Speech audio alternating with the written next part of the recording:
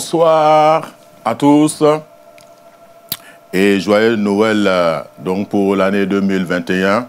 Voilà, je suis le pasteur Augustin Dadier, pasteur donc euh, à ACR, pasteur associé à ACR euh, Rennes. Donc aujourd'hui, c'est un plaisir pour moi de pouvoir vous entretenir sur le thème le contexte de la naissance de Jésus. Donc, nous allons parler donc du contexte spirituel, bien sûr, le contexte religieux, un peu du contexte religieux et le contexte politique qui a entouré donc la naissance de notre Seigneur Jésus. Alléluia. Alors, il faut dire, d'entre de jeu, il faut dire que euh, quand, quand euh, l'homme a chuté, quand l'homme a péché, donc dans le jardin d'Éden, selon, selon la Genèse chapitre 3, verset 15, que je vais lire rapidement, Genèse chapitre 3, le verset 15, il est dit que je mettrai inimitié entre toi et la, femme, en ta postérité et sa postérité. Celle-ci t'écrasera la tête et tu, lui, blesseras le talon. Donc, dès le péché, dès que le Seigneur a commencé donc, euh, à, à, parler à l'homme et à la femme qui avaient péché, il avait automatiquement programmé donc la venue de Jésus. Donc ce passage montre que effectivement la descendance, donc la postérité de la femme allait écraser la tête du serpent. Donc il était en train d'annoncer déjà donc la venue du Seigneur Jésus-Christ.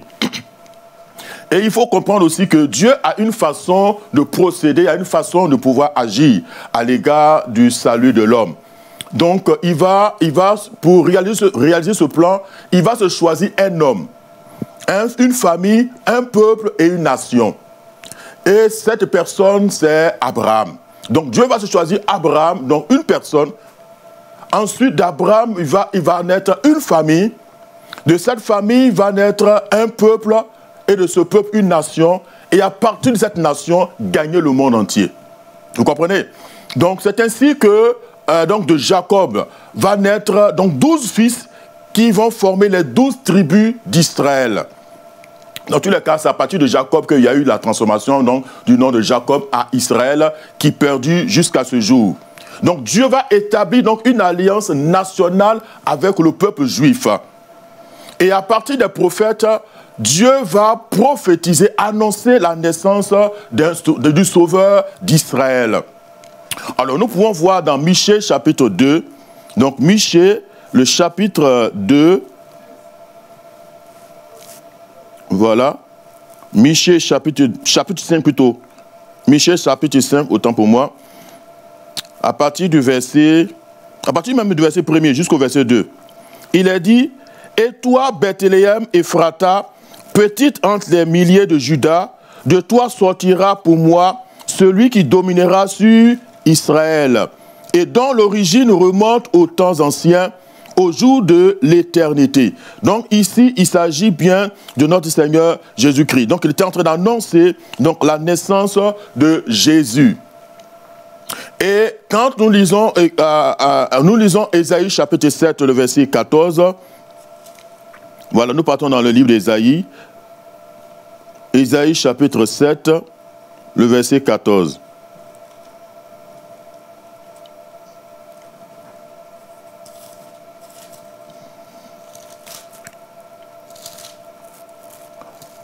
Voilà, j'y suis. Ésaïe chapitre 7, verset 14 nous dit, c'est pourquoi le Seigneur lui-même vous annoncera un signe. Voici, la jeune fille deviendra enceinte, elle affrontera un fils et elle lui donnera le nom d'Emmanuel. Voilà, donc ce passage-là nous indique que le Seigneur allait envoyer un sauveur à Israël et il nous indique le lieu donc, de naissance, c'est-à-dire Bethléem, et il nous indique aussi que la fille allait effectivement tomber enceinte. Bon, là, c'est vrai que le passage ne nous parle pas hein, automatiquement de Marie, mais il parle d'une jeune fille qui allait donner naissance au Seigneur Jésus. Et quand nous prenons le livre Luc, voilà, Luc chapitre 2, Non, non, je prendrai plutôt l'évangéliste Matthieu. Donc Matthieu chapitre 2 plutôt pour moi. Matthieu chapitre 2, à partir du verset 1er, il est dit que Jésus étant né à Bethléem en, en Judée, au temps du roi Hérode, voici des mages d'Orient arrivaient à Jérusalem et dit, où est le roi des Juifs qui vient de naître? Car nous avons vu son étoile en Orient et nous sommes venus pour l'adorer. Le roi Hérode, ayant appris cela, fut troublé et tout Jérusalem avec lui. Il assembla tous les principaux sacrificateurs et les scribes du peuple et il s'informa de où devait naître le Christ. Il lui dit à Bethléem en Judée, car voici ce qui a été écrit par le prophète. Et toi, Bethléem, terre de Juda, tu n'excèdes pas la moindre d'entre les principales villes de Juda, car de toi sortira un chef qui naîtra d'Israël, mon peuple. Alors, la Bible nous dit que Hérode va faire appeler les mages pour s'informer davantage où devait naître cet enfant. Et, mais derrière lui, la Bible dit que dès qu'il a eu l'information, il a été troublé. Il été troublé parce qu'il voyait son trône être menacé en tant que roi. Donc il fallait chercher coûte à coûte à éliminer donc l'enfant le, roi voilà l'enfant roi qui vient de naître. C'est comme cela qu'il va mettre en œuvre ce plan, ce plan démoniaque et satanique qui va consister donc à massacrer les, enfants donc de, de, de, de, Bethléem, voilà, de Bethléem, voilà, de, de Zoro à deux ans ou de deux ans en dessous, voilà, pour s'assurer que vraiment il y ce, ce roi-là va pas pouvoir exister et que lui seul puisse vraiment dominer. Donc, nous voyons que Dieu va tenir sa promesse à l'égard du peuple juif, à l'égard d'Israël. Donc, par rapport donc, à la Noël, par rapport à la naissance de Jésus, euh, il faut dire que Christ est né un jour sur cette terre. C'est vrai que la date de 24 euh, décembre est contestée. Il y en a qui disent que Jésus n'est pas né le 24 décembre, mais peu importe. Dans tous les cas, Jésus est né sur cette terre. Il est né un jour précis. Alléluia. Et nous bénissons le Seigneur pour la naissance de Jésus. Mais nous comprenons que euh, cette naissance est en fait euh, la, démonstration de la fidélité de Dieu à l'égard de la nation d'Israël. Parce qu'à l'égard de la nation d'Israël, Dieu avait une alliance. Et la promesse qu'il a faite, c'était la promesse est faite au peuple d'Israël, au peuple juif, qu'il enverrait un sauveur, le Seigneur Jésus. Et effectivement, Dieu a mis tout en œuvre pour que Jésus naisse. Pour que Jésus naisse. Maintenant, quand les temps ont été accomplis, la Bible nous dit que Marie donc va devenir enceinte par la vertu du Saint-Esprit et elle va accoucher. Et là, nous le voyons dans, le passage que nous, que, nous avons, que nous avons lu tout à l'heure. Et nous voyons aussi que euh, donc euh, il y, aura des massacres qui vont se faire. Comme tout à l'heure, je viens de le dire. Et là, ça, va nous amener à parler un peu du contexte politique. Donc le contexte politique, c'est que le roi Hérode, sans son trône, être menacé. Son trône est menacé, il va falloir donc chercher à agir afin de le, afin de le protéger. Parce qu'il a, il a, il a appris qu'un roi vient de naître. Et derrière ce plan derrière ce massacre, il faut savoir que le, roi Hérode et, et, consorts, ce sont des païens. Et c'est en tant que tels, ils ont leur Dieu. Vous comprenez? Ils ont leur Dieu qu'ils adorent. Et effectivement, quand on voit ce massacre-là, on, on, pourrait parler même, je même d'un génocide. Parce qu'aller tuer toute une population d'enfants qui, qui, naît à une période précise, euh, c'est quand, même, quand même proche du génocide. Vous comprenez? Mais en tant que roi, en tant que roi, il voulait s'assurer que euh, son trône ne soit pas menacé et qu'il continue de régner une, un, sur le plan politique. Mais également, derrière ce massacre-là, il faudra voir aussi qu'il euh, y a comme un sacrifice humain qui va être fait aux dieux païens, aux dieux que eux ils adorent. Vous comprenez? Et cela est important de, de pouvoir le relever ici. Parce que le pouvoir démoniaque se nourrit du sang. Vous comprenez? Le pouvoir démoniaque se nourrit de sang. C'est pour cela qu'en massacrant ces enfants, il y a du sang qui coule et ça permet de pouvoir asseoir son pouvoir. Parce que s'il a dit que Hérode a été, a été choqué, a été troublé par la naissance de Jésus-Christ, par le fait qu'on l'annonce simplement qu'il y a un roi qui est né et qui se sent déjà troublé, ça veut dire que euh, euh, euh, derrière, il y a quelque chose qui n'est pas normal. À quelque chose qui n'est pas normal. Donc c'est pour cela que le fait qu'il y a autant d'enfants massacrés, autant de sang versé, ça lui permet de pouvoir asseoir son pouvoir. Et c'est vrai qu'aujourd'hui, aujourd'hui nous pouvons le constater, hein, nous pouvons le constater, chaque fois qu'il s'agit de pouvoir, les gens chercheront à pouvoir, euh, à pouvoir faire des sacrifices, parfois des sacrifices humains. Mais, soit dit en passant, les sacrifices humains ont existé depuis l'Ancien Testament. Depuis l'Ancien Testament, la Bible nous parle de, de, c'est vrai, des dieux païens qui, qui, qui immolaient les enfants. Et à un moment donné, le peuple juif même, certaines familles juives vont, vont, vont, vont, vont, vont, vont faire la même chose. Dans certaines familles juives, ils vont, vont immoler les enfants. Ils vont faire passer les enfants par le feu. Ok? On n'a pas le temps de pouvoir lire ces passages-là, mais c'est pour dire que le fait d'immoler un être humain date depuis de l'Ancien Testament. Et jusqu'à nos jours, effectivement, cela continue parce que les gens euh, euh, euh, veulent, veulent, avoir le pouvoir ou veulent avoir la domination dans un domaine précis. Ça s'appelle le domaine politique, ça s'appelle le domaine économique, le domaine des affaires. Parfois, les gens vont faire des sacrifices pour pouvoir, pouvoir dominer. Et ça, c'est important de pouvoir le souligner. Donc, effectivement, nous sommes dans un contexte politique assez chaud parce qu'effectivement, nous avons un roi qui, effectivement, dès qu'il entend qu'il y a un autre roi qui est né, il est troublé. Et il faut préciser qu'à cette époque-là, le peuple d'Israël était sous domination romaine. OK? Était sous domination romaine. La Palestine était une colonie des Romains. Était colonisée par les Romains. Donc, c'était les Romains qui régnaient. C'était les Romains qui régnaient. Et pour les Juifs, c'était important que le sauveur, le, sauveur qui a été annoncé, vienne les délivrer de, la domination romaine. De la domination romaine. C'est pour cela qu'ils étaient très contents de savoir que leur sauveur est né. Donc pour pour un juif, pour le juif, à cette époque-là, ils pensaient déjà politique. C'est-à-dire que quelqu'un, un, un, sauveur, un leader qui allait venir les délivrer de la domination romaine. Ok? C'est pour cela que quand Jésus est arrivé, ils n'ont pas vraiment su le reconnaître Hein, dans sa façon de vivre, dans sa façon de faire, parce qu'il s'attendait à quelqu'un qui, qui allait venir les délivrer de cette euh, domination euh, romaine. Parce qu'ils étaient sous, sous, sous, sous cette, euh, ils étaient sous, sous, la colonisation, sous la domination des Romains. Mais il faut comprendre que Dieu a une façon d'agir, Dieu a une façon d'opérer, il a une façon d'agir. C'est pour cela que quand Jésus vient, les, Juifs ne vont pas le reconnaître parce qu'ils s'attendent à un leader politique. Alors que là, ils ont un leader spirituel qui vient pour pouvoir changer d'abord l'intérieur. Vous voyez, le but du Seigneur, c'est de commencer d'abord par changer leur cœur. Changer leur cœur pour les amener à avoir une relation personnelle avec Dieu avant de pouvoir venir euh, euh, à l'aspect politique. Mais les Juifs de l'époque n'ont pas compris cela. Ils n'ont pas compris cela. Mais le Seigneur va s'efforcer de pouvoir rester dans son calendrier qui consistait à venir sur la terre afin de pouvoir euh, racheter euh, l'être humain. Mais vous allez voir que quand il est venu, quand Jésus est né, quand Jésus est né, il va d'abord, son message va d'abord s'adresser aux Juifs. Va d'abord s'adresser aux Juifs. Vous comprenez?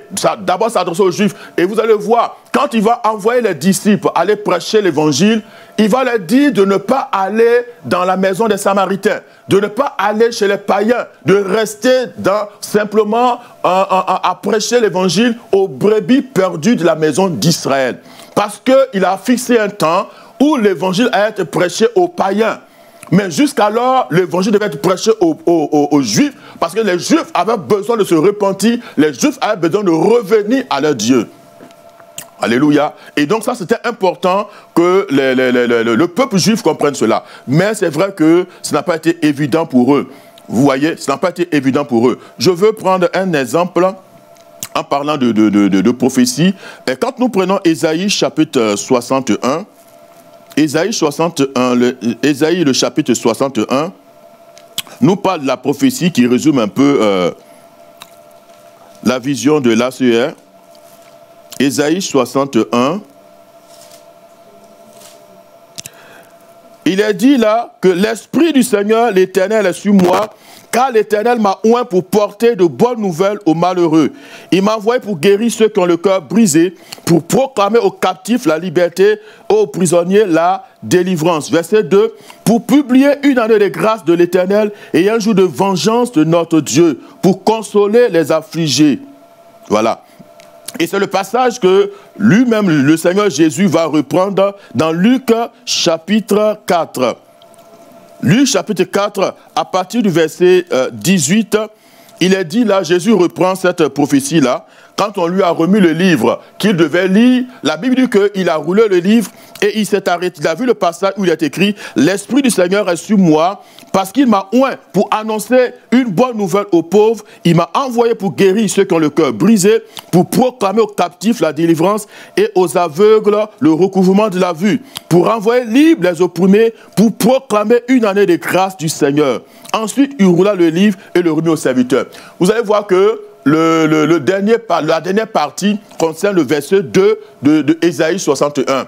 Mais dans le verset 2 d'Ésaïe 61, Jésus va s'arrêter juste à la première partie, à la partie A. Parce que dans un verset, il y a une partie A, et une partie B. Jésus va s'arrêter juste à la partie A. Parce que la partie B, il est parlé de vengeance. Un jour de vengeance de notre Dieu pour consoler les affligés. En fait, cette époque-là, ce temps-là n'est pas encore arrivé. Vous comprenez? Donc, de Ésaïe 61, que, que, Jésus va reprendre dans Luc chapitre 4, il va s'arrêter à la première partie. Et c'est pour cela qu'il dit que cette prophétie que vous entendez vient de s'accomplir. Et la deuxième partie qui concerne donc le jour de vengeance, ça sera pour des temps qui arrivent. Pour des temps qui arrivent, parce que le temps vient où le Seigneur, effectivement, va délivrer le peuple d'Israël. Il va vraiment délivrer le peuple d'Israël. Mais ce n'était pas ce temps-là. Vous comprenez? C'est là que ça veut dire que dans un même passage, dans une prophétie, une partie de la prophétie peut être accomplie et l'autre partie n'est pas encore accomplie parce que les temps ne sont pas encore, ne sont pas encore accomplis. OK? Donc ça, c'est soit dit en, en passant. Donc, pour, pour résumer, le contexte de la naissance de Jésus, c'est d'abord l'idée du Seigneur qui, depuis la chute de Adam et Ève, lui-même a a, prophétisé, lui-même a annoncé que quelqu'un viendrait en la personne de Jésus pour, racheter l'homme et ramener l'homme dans sa relation initiale avec Dieu. Mais Dieu, pour ce faire, va choisir une personne. Vous comprenez?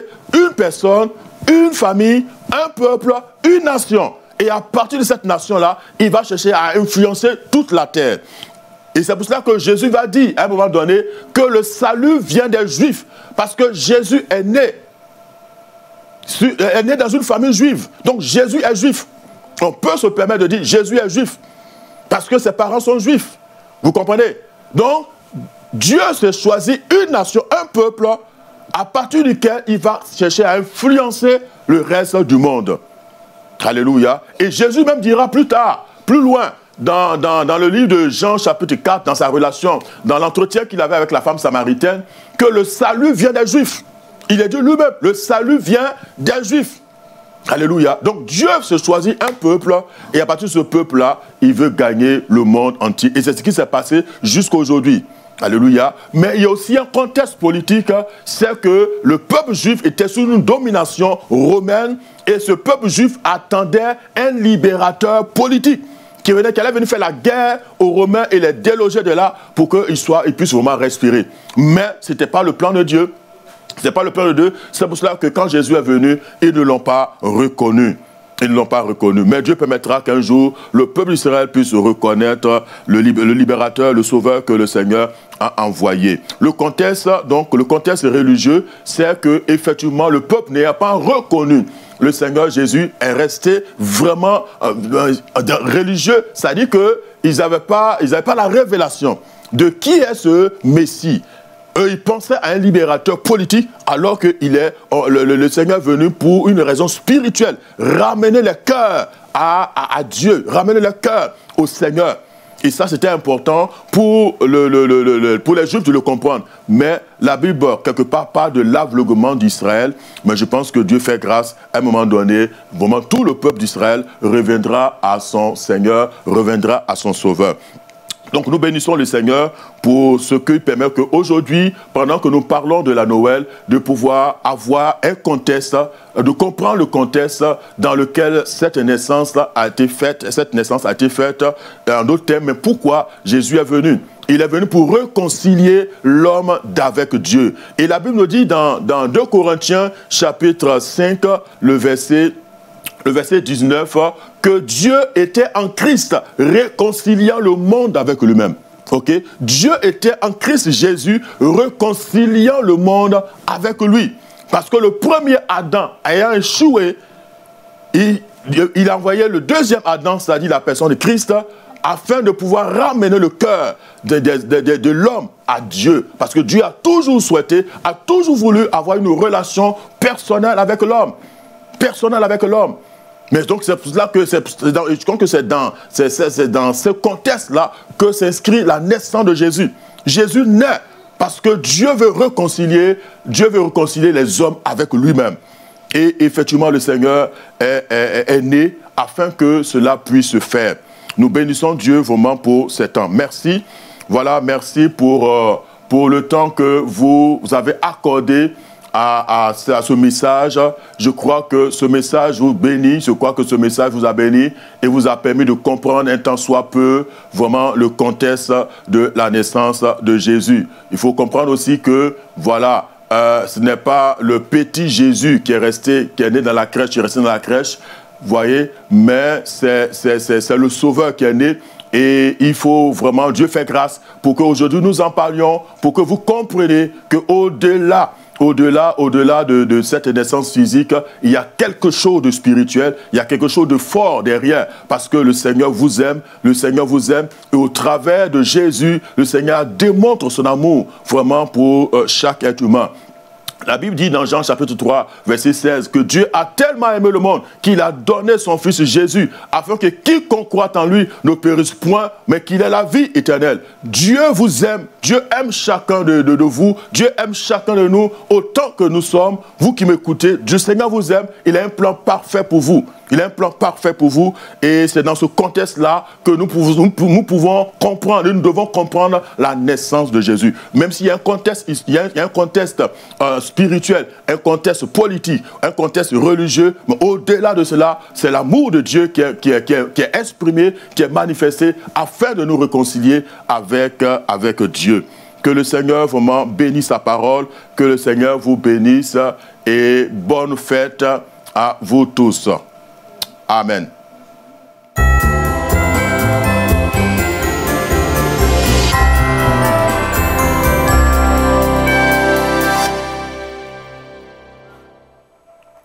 Bonjour, bonsoir, tout dépend du moment auquel vous allez me regarder. D'accord Je suis le pasteur Essie et je voulais vraiment aussi vous souhaiter un joyeux Noël. J'espère que vous avez bien fêté et que vous avez bien profité de ces moments pour vous réjouir en famille. Je voulais aussi déjà, avant de commencer, euh, donc euh, remercier donc l'apôtre Alain Patrick Tsenge pour le privilège qu'il me fait et remercier aussi, euh, voilà, ma mère spirituelle ainsi que mon mari et leur souhaiter joyeux Noël. Et vous allez voir aussi pourquoi en fait je remercie ces personnes parce que c'est vraiment important en ces jours de remercier comme diraient certains, hein, d'aimer vivant vivant. C'est vraiment important. Donc c'est pour ça que je prends le temps vraiment de remercier mon père spirituel ainsi que ma mère spirituelle ainsi que mon mari qui est aussi mon pasteur qui est aussi mon berger et qui, euh, qui est vraiment euh, un, soutien pour moi. Et donc, les fêtes de Noël sont vraiment une occasion, je crois, de vraiment de d'évangéliser. Pourquoi? Parce que vous allez voir quand ces circonstances-là, peut-être euh, vous êtes là, vous qui me regardez, peut-être vous êtes seul, mais c'est souvent dans ces circonstances-là où vous allez d'abord Pensez à Jésus. Je ne sais pas si vous avez entendu parler hein, de cette tradition de faire une crèche où on, où on mime en fait, euh, voilà, la, la, on va dire la naissance de Jésus dans une crèche. Cette tradition en fait est là depuis, euh, de, depuis des siècles, depuis, euh, depuis près de, de, je pense, du 13e siècle et même bien avant. Et c'est quelqu'un qui l'a commencé. Et donc on voit en fait cette tradition là et on voit cette envie là des, personnes de, faire perdurer cette tradition, même si on a tendance à dire que euh, euh, la France a tendance à perdre en fait ses traditions, à perdre en fait cette, cette, cette, comment dire ça, cette connotation, cette, cette aisance en fait dans le christianisme. Mais qu'à cela ne tienne, on voit bien que à cette période-là, on a tendance à se souvenir de Jésus, même si on le voit comme un bébé dans une crèche, mais on a tendance à s'en souvenir. Et je ne sais pas si vous avez aussi ces grands-parents ou ces parents qui, à l'occasion de Noël, ils vont à la messe de minuit ou alors ils suivent la messe de minuit euh, du pape à, à minuit, hein, celle qui fait, je pense, la nuit du 24 au 25. Donc, on a tous cette tradition-là. Et donc, c'est à cette époque-là, moi, je pense que euh, quelque chose est réveillé. Peut-être que certains vont l'appeler le miracle de Noël, mais moi, je ne vais pas appeler ça le miracle de Noël. Je vais plutôt appeler ça le miracle de la vie. Je vais appeler ça, en fait, le, en fait, ce que Dieu a donné de plus précieux. Et c'est à cette période-là que les gens, en fait, se rappellent de Jésus. Et c'est comme si, en fait, il y a comme une sorte de remise en question. Et c'est pour ça que je crois que c'est vraiment une bonne occasion parce que peut-être que, peut-être que vous allez me dire non, à tout moment, en fait, la, la terre est fertile, les cœurs sont, sont disposés. Mais j'ai remarqué que souvent à cette période-là, les gens vont beaucoup plus se poser des questions, les gens vont beaucoup plus euh, regarder euh, à, à, Jésus, ils vont, ils vont beaucoup plus se souvenir euh, de la naissance de Jésus. Et moi, je crois que c'est vraiment une bonne occasion de parler de Jésus, de leur rappeler que Jésus n'est plus en fait ce petit enfant-là dans la crèche. D'ailleurs, c'était même pas une crèche, je pense. Mais déjà de leur restituer le contexte.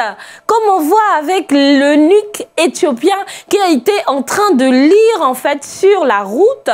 Et euh, Philippe donc a apparu à ce moment donné et il a vu en train de lire en fait euh, les, les, prophètes, prophètes Ésaïe et se poser des questions. Et voilà, on peut trouver en fait des personnes qui se posent des questions. Peut-être vous qui êtes là devant moi, vous vous posez des questions, vous vous dites, mais oui, mais Jésus, on parle de lui, etc. Vous posez des questions sur la vie de Jésus, sur l'impact de Jésus.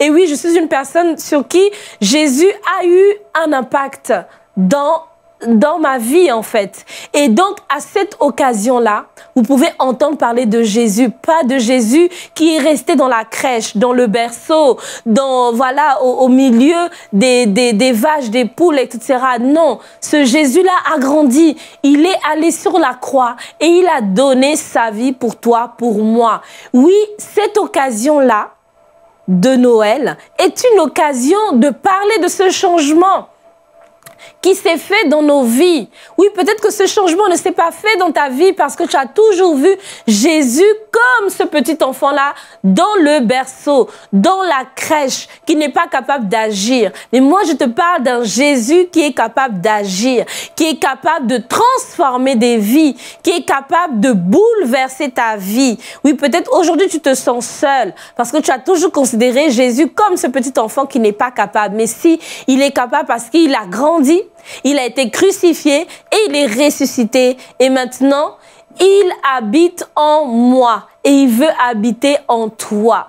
Oui, donc j'ai donc euh, cette période est l'occasion d'annoncer en fait la crucifixion, la mort et la résurrection de Jésus. C'est une bonne nouvelle. Je vous assure, c'est une très bonne nouvelle. Au-delà des cadeaux, on a un don plus précieux à donner. La Bible dit dans Jean 3,16 que Dieu a tant aimé le monde qu'il a donné.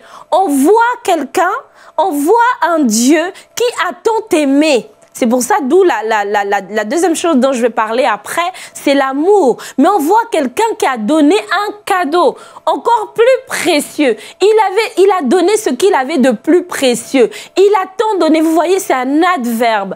Et euh, euh, on voit vraiment un parallélisme entre le fait qu'il a tant aimé qu'il a donné. Vous voyez? Et donc, c'est ça. C'est vraiment cette occasion d'annoncer Jésus. Jésus qui a, a cette puissance-là de résurrection. Ce Jésus-là qui a ressuscité le fils de la veuve de Naïm. Oui, il est encore là et il est capable encore d'agir. C'est une bonne nouvelle. L'occasion de l'occasion de la des fêtes de Noël, c'est une occasion de d'annoncer la bonne nouvelle. La deuxième chose, pour ces fêtes, comment, comment, annoncer, en fait, euh, comment évangéliser, mais c'est annoncer l'amour de Dieu. C'est en fait, c'est exprimer l'amour de Dieu. L'amour de Dieu, parce que Dieu a tant aimé qu'il a donné. Mais nous, en tant que chrétiens, nous devons aussi aimer les autres et les aimer en action. Donc d'abord, exprimer l'amour envers ceux qui n'ont pas reçu Jésus, ceux qui voient Jésus encore dans la, crèche.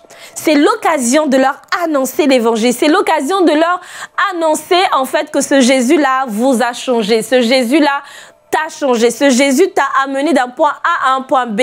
En fait, tu n'as pas besoin, en fait, d'être, euh, d'être, euh, d'avoir fait des mauvaises choses. Parce que souvent, on se dit, non, euh, ce Jésus-là peut transformer seulement les personnes qui ont fait des mauvaises choses. Et voilà. Mais non, même dans ton caractère. Dieu a fait des choses. Jésus t'a transformé. Alors tu peux annoncer ça. Tu peux annoncer ce Dieu-là qui est agissant, qui aime encore et qui est capable de donner encore. Et donc, au travers de Jésus, en fait, c'est nous qu'il donne au monde. Et c'est pour ça qu'il faut se considérer comme un don de Dieu au monde, à l'humanité, et de ne pas avoir honte, en fait, de prêcher l'évangile, de ne pas avoir honte, en fait, d'annoncer et de poser des actions. Donc, déjà, en parole, déjà de le dire, de parler de l'amour de Dieu, de parler de Jésus, mais aussi en action. Donc, donner des cadeaux, je vous assure, c'est l'occasion de donner des cadeaux, d'exprimer votre amour, votre gratitude, votre reconnaissance à votre patron. Parce que là, l'amour agapao passe au travers de ça. Et cette personne est touchée malgré toutes les vacheries qu'il vous aura faites au cours de l'année 2021, vous lui donnerez des cadeaux et ça va lui faire poser des questions. Il va se demander, mais, mais pourquoi vous êtes aussi gentil envers lui et donc, vous allez provoquer la curiosité et vous allez provoquer même cette question et vous allez lui permettre, en fait, euh, voilà, de, ça va vous permettre de, de, répondre à cette question en disant non, en fait, c'est l'amour de Dieu. C'est l'amour de Dieu qui agit en moi et qui me permet, en fait, de te parler, de te, de te donner un cadeau de te donner un cadeau. Oui, c'est vraiment la, c'est vraiment l'occasion d'exprimer en fait l'amour agapao, l'amour de Dieu en fait à ceux qui ne connaissent pas Dieu, en fait. Et même déjà au travers, donc, euh, donc à nos collègues, aux personnes qui sont là, mais aussi aux personnes qui sont défavorisées, aux personnes qui sont seules, aux personnes qui, qui euh, voilà, que vous voyez dans la rue, peut-être même à votre voisin, à votre voisine que vous ne connaissez pas, peut-être à qui vous n'avez jamais dit bonjour, mais aujourd'hui, c'est l'occasion de dire bonjour. Aujourd'hui, c'est l'occasion d'exprimer l'amour de Dieu l'amour agapao. Parce que vous allez voir que là, les gens, ils sont plus ouverts. Parce qu'il y a toujours cette envie-là, même vous qui me regardez, d'être avec quelqu'un. Peut-être je suis la seule personne qui est avec vous, mais dites-vous bien que Dieu vous aime. Que si vous êtes tombé sur cette vidéo, c'est parce que Dieu vous aime et c'est pour vous dire que vous n'êtes pas seul. Oui, souvent à cette période-là, c'est là où on se sent encore le plus seul.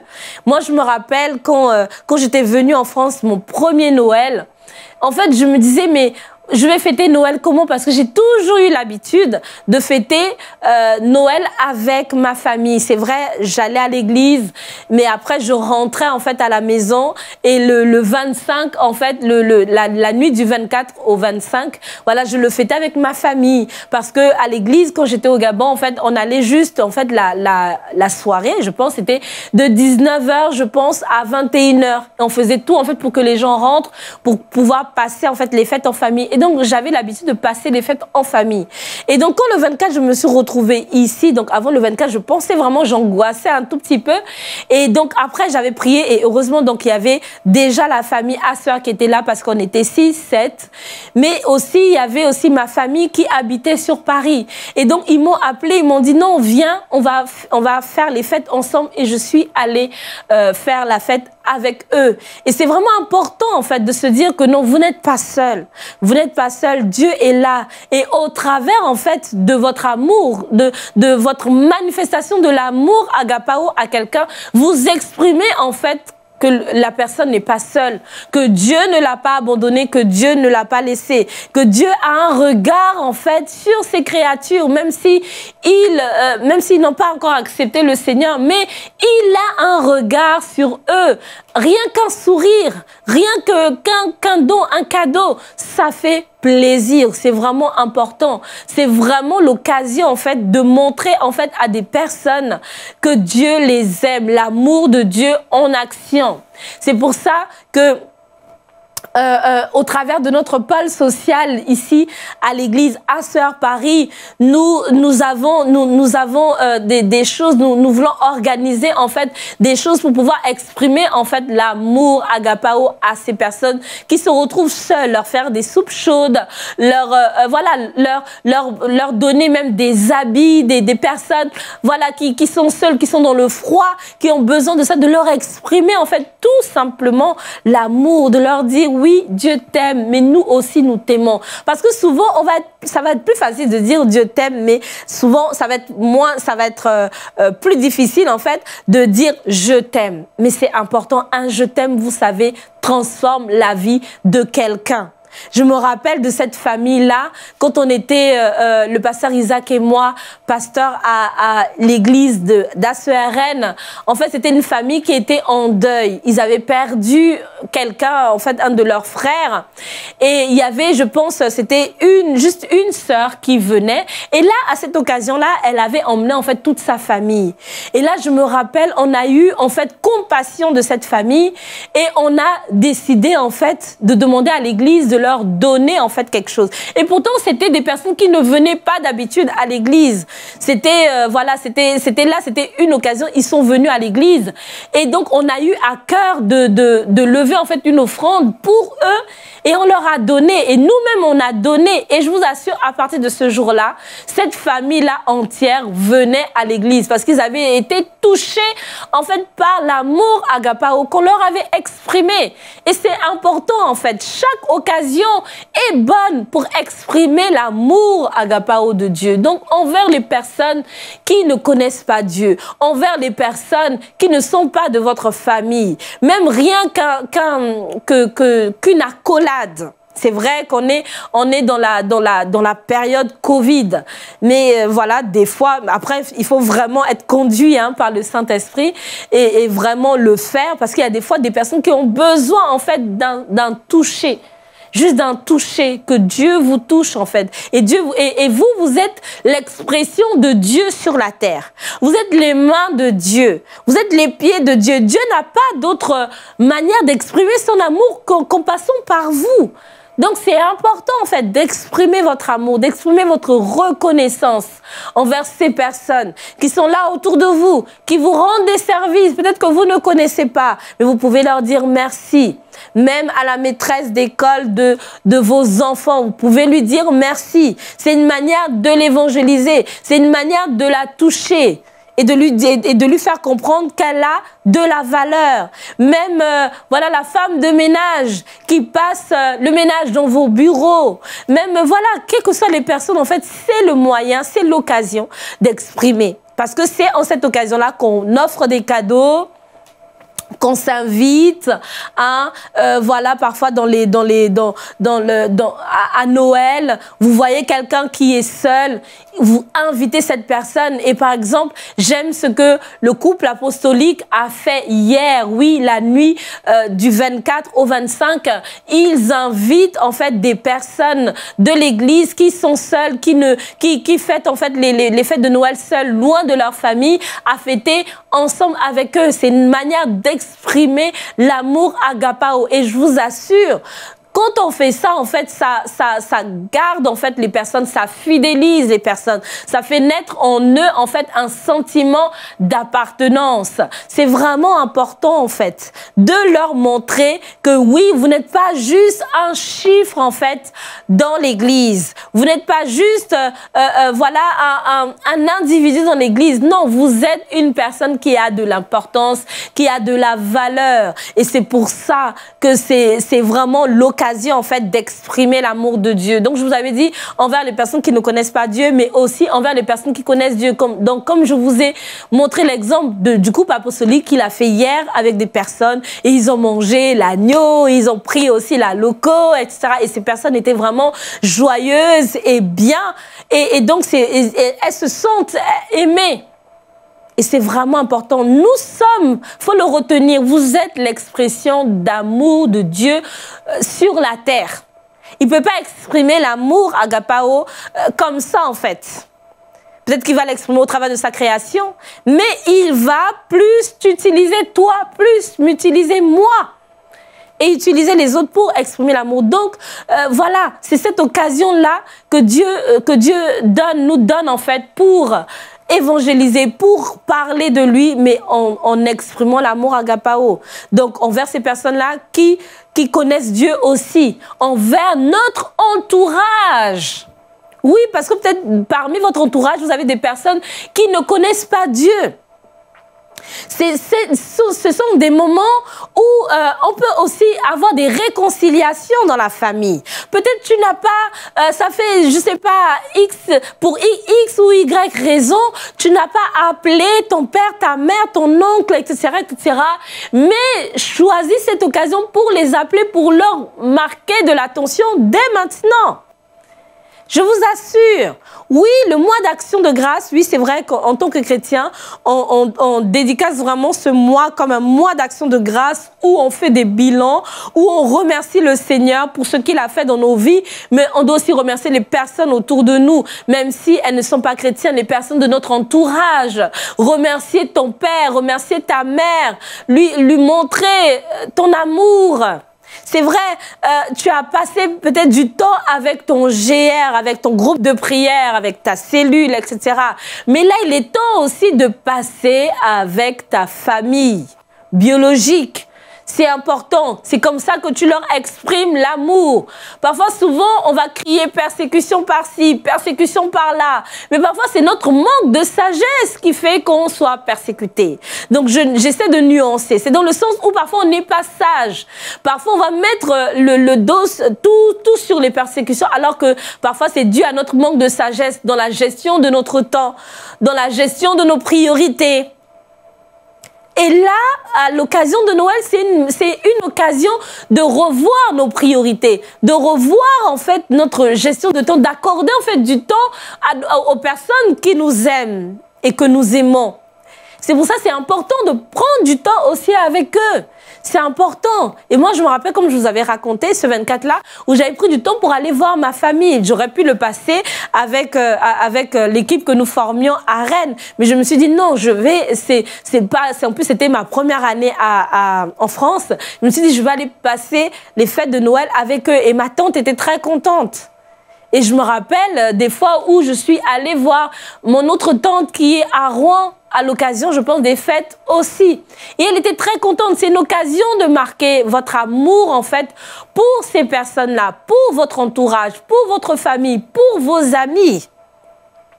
Arrêtons d'être trop, voilà, non, euh, je ça avec mes frères et mes sœurs en Christ. Oui, et souvent c'est ce qu'on dit à la l'ACR, que vous pouvez réserver le 24 pour la famille et le 31 pour l'église. C'est sûr que le 31, c'est bien de passer à l'église, d'accord Pour entendre la pensée prophétique, etc. C'est important, mais le 24, je vous assure, c'est important de le passer en famille, d'accorder du temps à votre famille. Comme je vous disais euh, euh, au début, aimons-nous vivants, vivants.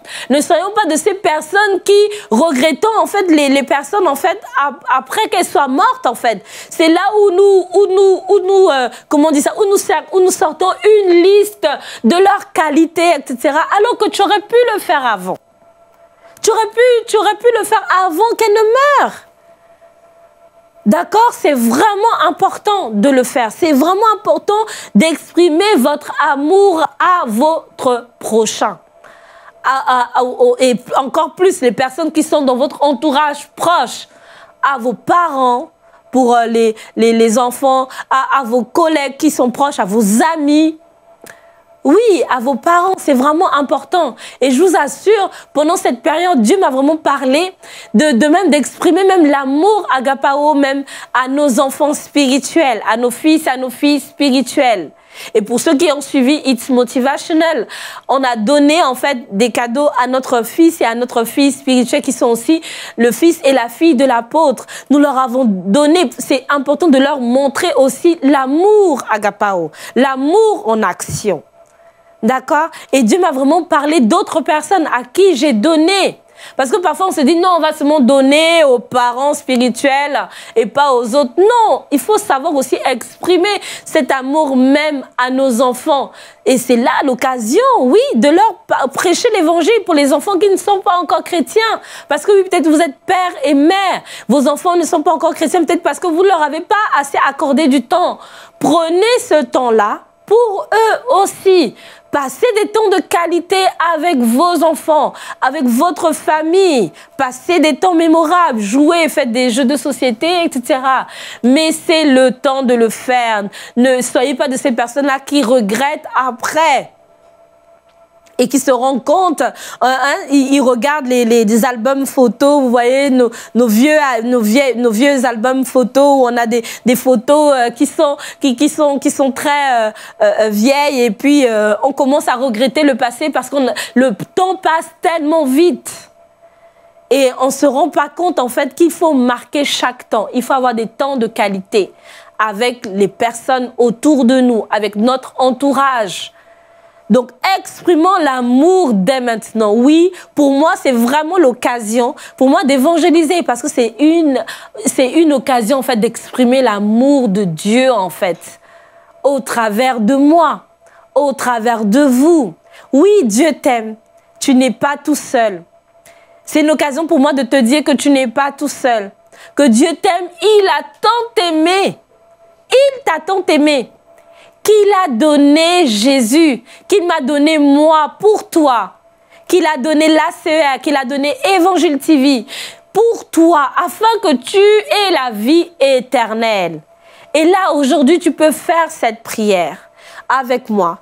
Tu peux dire avec moi, Seigneur Jésus, je t'accepte en tant que Seigneur et Sauveur. Je te demande pardon pour tous mes péchés. Merci Seigneur, car tu fais de moi un fils, une fille de Dieu. Et non, plus jamais, je ne serai seul. Amen. Tu es fils, tu es fille de Dieu. Maintenant que tu as fait cette prière de repentance, tu peux joindre donc euh, euh, ce numéro de téléphone ou euh, cette adresse, tu peux écrire à cette adresse et tu peux dire que tu es né de nouveau à l'occasion d'une émission et selon la ville, nous te conseillerons d'aller dans une, église pour que tu sois nourri, pour que tu, pour qu'on puisse s'occuper de toi. Mais je t'assure, tu n'es pas seul. Et même quelqu'un, je vois quelqu'un qui a, a un enfant malade, tu peux poser ta main sur cet enfant. Et je t'assure que le plus grand des cadeaux que Dieu t'a donné, c'est le fait que Jésus soit mort sur la croix et qu'il est ressuscité en nouveauté de vie. Il est devenu péché afin que tu sois justice de Dieu. Il est, devenu, maladie afin que ton enfant aussi soit guéri. Alors mets maintenant ta main sur ton enfant et je vais prier pour toi. Seigneur, merci pour cet enfant. Merci, oh Dieu, je prie Seigneur, que cet enfant puisse guérir au nom puissant de Jésus. Oui, merci Seigneur pour ton onction de guérison. Je chasse toute maladie maintenant au nom puissant de Jésus. Et je proclame la joie maintenant dans ce foyer au nom puissant de Jésus. Je viens proclamer maintenant que cette mère est en excellente santé, elle est euh, en paix au nom puissant de Jésus. Merci pour la puissance de Dieu maintenant qui descend sur cet enfant au nom puissant puissant de Jésus. Merci Seigneur. Oui, j'entends dans ma tête leucémie. Oui, cette leucémie guérit maintenant au nom puissant de Jésus. Tu t'en vas maintenant de la tête de cet enfant au nom puissant de Jésus. Merci Seigneur pour la guérison qui prend place dans ce corps au nom puissant de Jésus. Merci Seigneur pour ton amour, oh Dieu, qui est exprimé maintenant au travers de moi, au travers de cette chaîne Évangile TV. Merci Seigneur pour cela. Oh Dieu, merci Seigneur. Oui, je vois aussi un couple qui euh, s'est disputé et qui a, en fait, qui est presque au bord de la du divorce. Vous êtes au bord, en fait, c'est la énième dispute parce que vous êtes disputé plusieurs fois et vous avez l'impression en fait que ça, ça ne va en fait ça ne va jamais euh, marcher. Mais si ça va marcher, je vous assure, vous pouvez nous appeler dès maintenant, vous pouvez nous écrire à l'adresse mail qui s'affiche et vous aurez des personnes, euh, on va dire, au téléphone pour pouvoir vous aider à avoir une vie épanouie. Mais c'est vraiment important de suivre les conseils parce que vous savez, je pense aussi que dans un couple, il faut que l'amour agapao soit le socle. Parce que oui, il peut avoir les rosses, il peut avoir la filéa, mais si l'amour agapao n'est pas là pour soutenir, quand l'éros va un peu s'amenuiser, la filéa aussi, il y aura rien en fait pour pouvoir euh, redonner vie à ces deux amours. Donc c'est important, compter sur Dieu. Seigneur, je te remercie pour ces personnes qui ont regardé cette émission. Merci Seigneur pour l'amour agapao qui est restauré dans la vie de ce couple. Seigneur, merci oh Dieu pour l'amour agapao, oh Dieu. Seigneur qui est restauré. Seigneur, merci pour cet amour qui grandit davantage dans leur cœur, dans leur vie au milieu d'eux au nom puissant de Jésus. Merci Seigneur pour ce que tu fais, Seigneur, au travers de ces fêtes. Seigneur, je crois, je ne vois plus personne se sentir seul, plus personne être sous le coup de la dépression, plus personne être sous le coup du suicide. Oui, je vois quelqu'un qui avait envie de se suicider parce que elle vient à peine de se faire plaquer par son petit ami. Mais je te dis non, le Seigneur est là. Le Seigneur est là et c'est la preuve que le Seigneur est là parce qu'il m'a envoyé pour te dire que tu n'es pas seul, que tu as de la valeur, que tu as du prix. Il a donné ce qu'il avait de plus précieux pour toi afin que tu aies la vie éternelle et la vie en abondance. Accepte-la maintenant. Merci Seigneur pour ces personnes, oh Dieu. Je chasse maintenant cet esprit de mort maintenant au nom puissant de Jésus. Cet esprit de suicide maintenant au nom puissant de Jésus. Cet esprit de dépression maintenant au nom puissant de Jésus. Tu t'en vas maintenant au nom puissant de Jésus. Merci pour l'amour agapao qui est exprimé pleinement au travers de cette émission. Et ça s'installe maintenant dans la maison, dans les foyers. Seigneur, merci parce qu'ils sentent ton étreinte, ils sentent ton amour maintenant. Au nom puissant de Jésus, nous avons prié. Amen. Amen. J'ai été très heureuse d'avoir été avec vous et je vous souhaite encore de passer de très bonnes fêtes. En tout cas, restez connectés et surtout, n'hésitez pas aussi de vous abonner à notre chaîne, de liker, de partager. Je pense que ça va ça va, voilà, ça va bénir beaucoup d'autres personnes. Et aussi, n'oubliez pas de nous soutenir. Nous croyons que nous sommes une source de bénédiction pour vous. Comme je vous ai dit tout à l'heure, Dieu n'a pas d'autre main, Dieu n'a pas d'autre voix que les vôtres. Alors, soyez cette main-là pour apporter l'évangile encore plus loin, apporter cet amour agapaola encore dans les nations. Vraiment que Dieu vous bénisse et nous nous retrouverons dans un prochain épisode.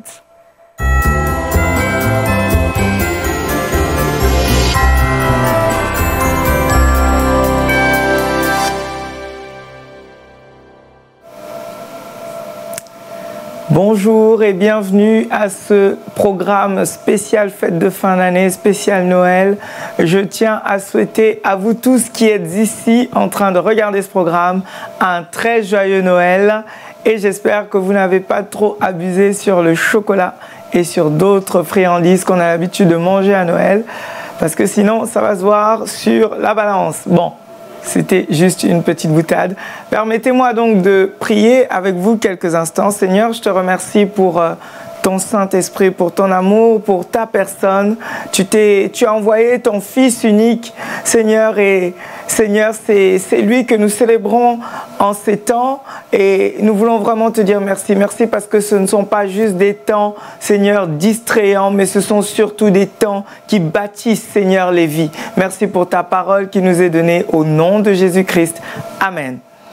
Ok, donc je suis le pasteur Gilda Zinga et je veux répondre à une question. Une question que si vous vous êtes connecté à cette chaîne, vous savez que c'est une chaîne d'inspiration chrétienne. Et donc, nous croyons dans ce livre qui est ouvert devant moi que nous appelons la Bible. Et donc, il y a une question qui taraude beaucoup de personnes chrétiennes, c'est est-ce que c'est biblique de fêter Noël? Est-ce que fêter Noël est biblique?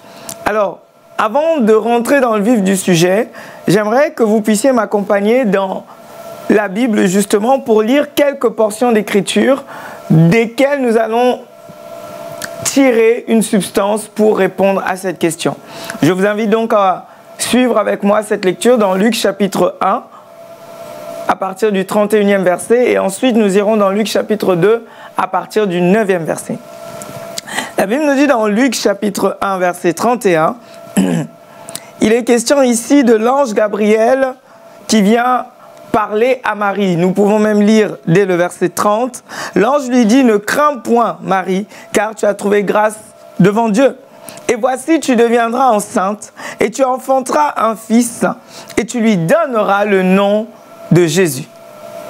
Il sera grand et sera appelé fils du Très-Haut.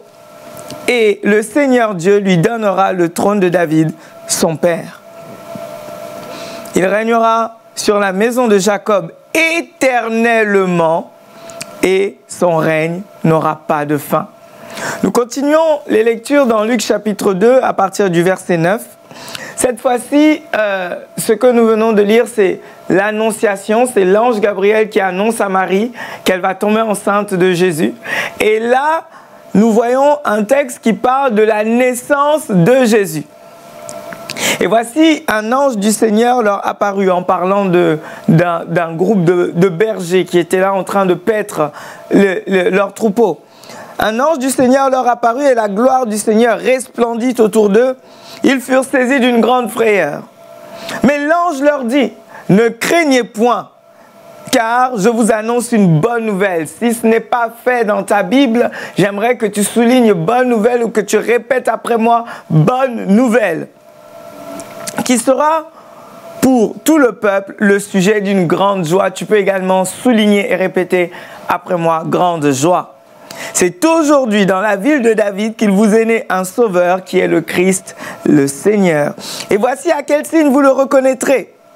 Vous trouverez un enfant mailloté couché dans une crèche et soudain, il se joignit à l'ange une multitude de l'armée céleste, louant Dieu et disant Gloire à Dieu dans les lieux très hauts et paix sur la terre parmi les hommes qui l'agréent.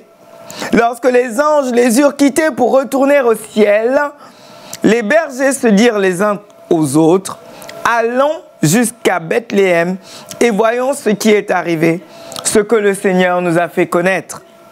Ils y allèrent en hâte et trouvèrent Marie et Joseph et le petit enfant couché dans la crèche. Alors, euh, vous êtes là et vous êtes peut-être chrétien, vous vous posez cette question, est-ce biblique de fêter Noël Vous n'êtes peut-être pas forcément chrétien et vous ne savez pas pourquoi est-ce que l'on dit que Noël est une fête ou serait une fête chrétienne.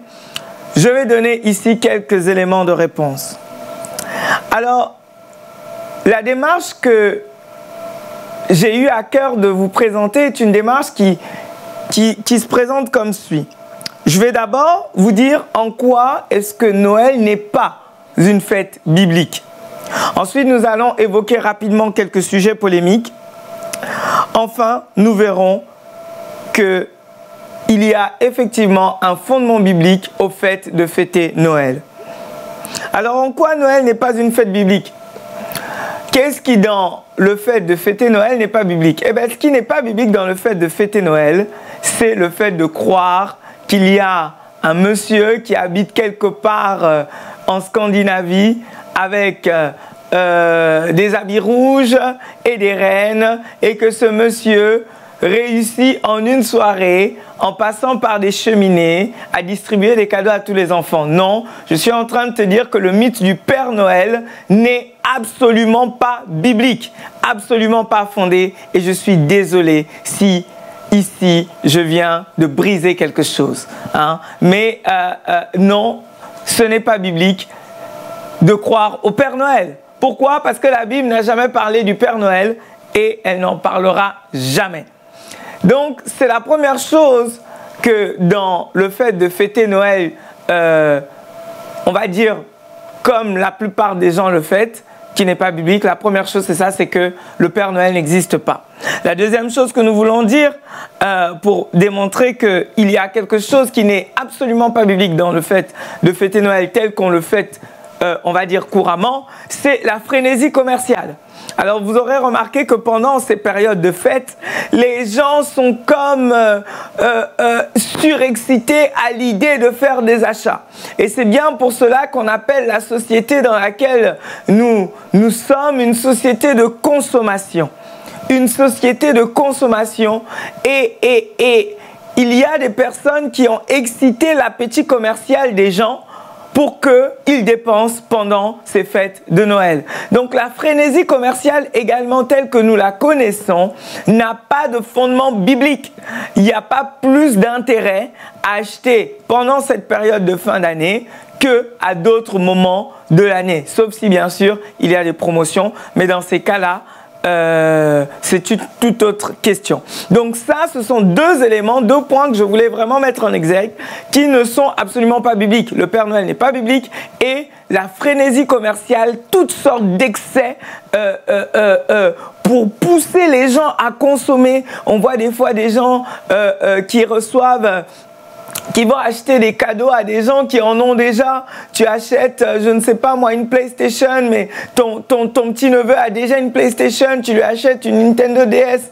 Euh, non, c'est Nintendo, comment euh, Switch, voilà. Tu lui achètes une Nintendo Switch, mais il en a déjà. Bon, bref, on est vraiment des fois dans la surenchère commerciale, et ça non plus, c'est absolument pas biblique.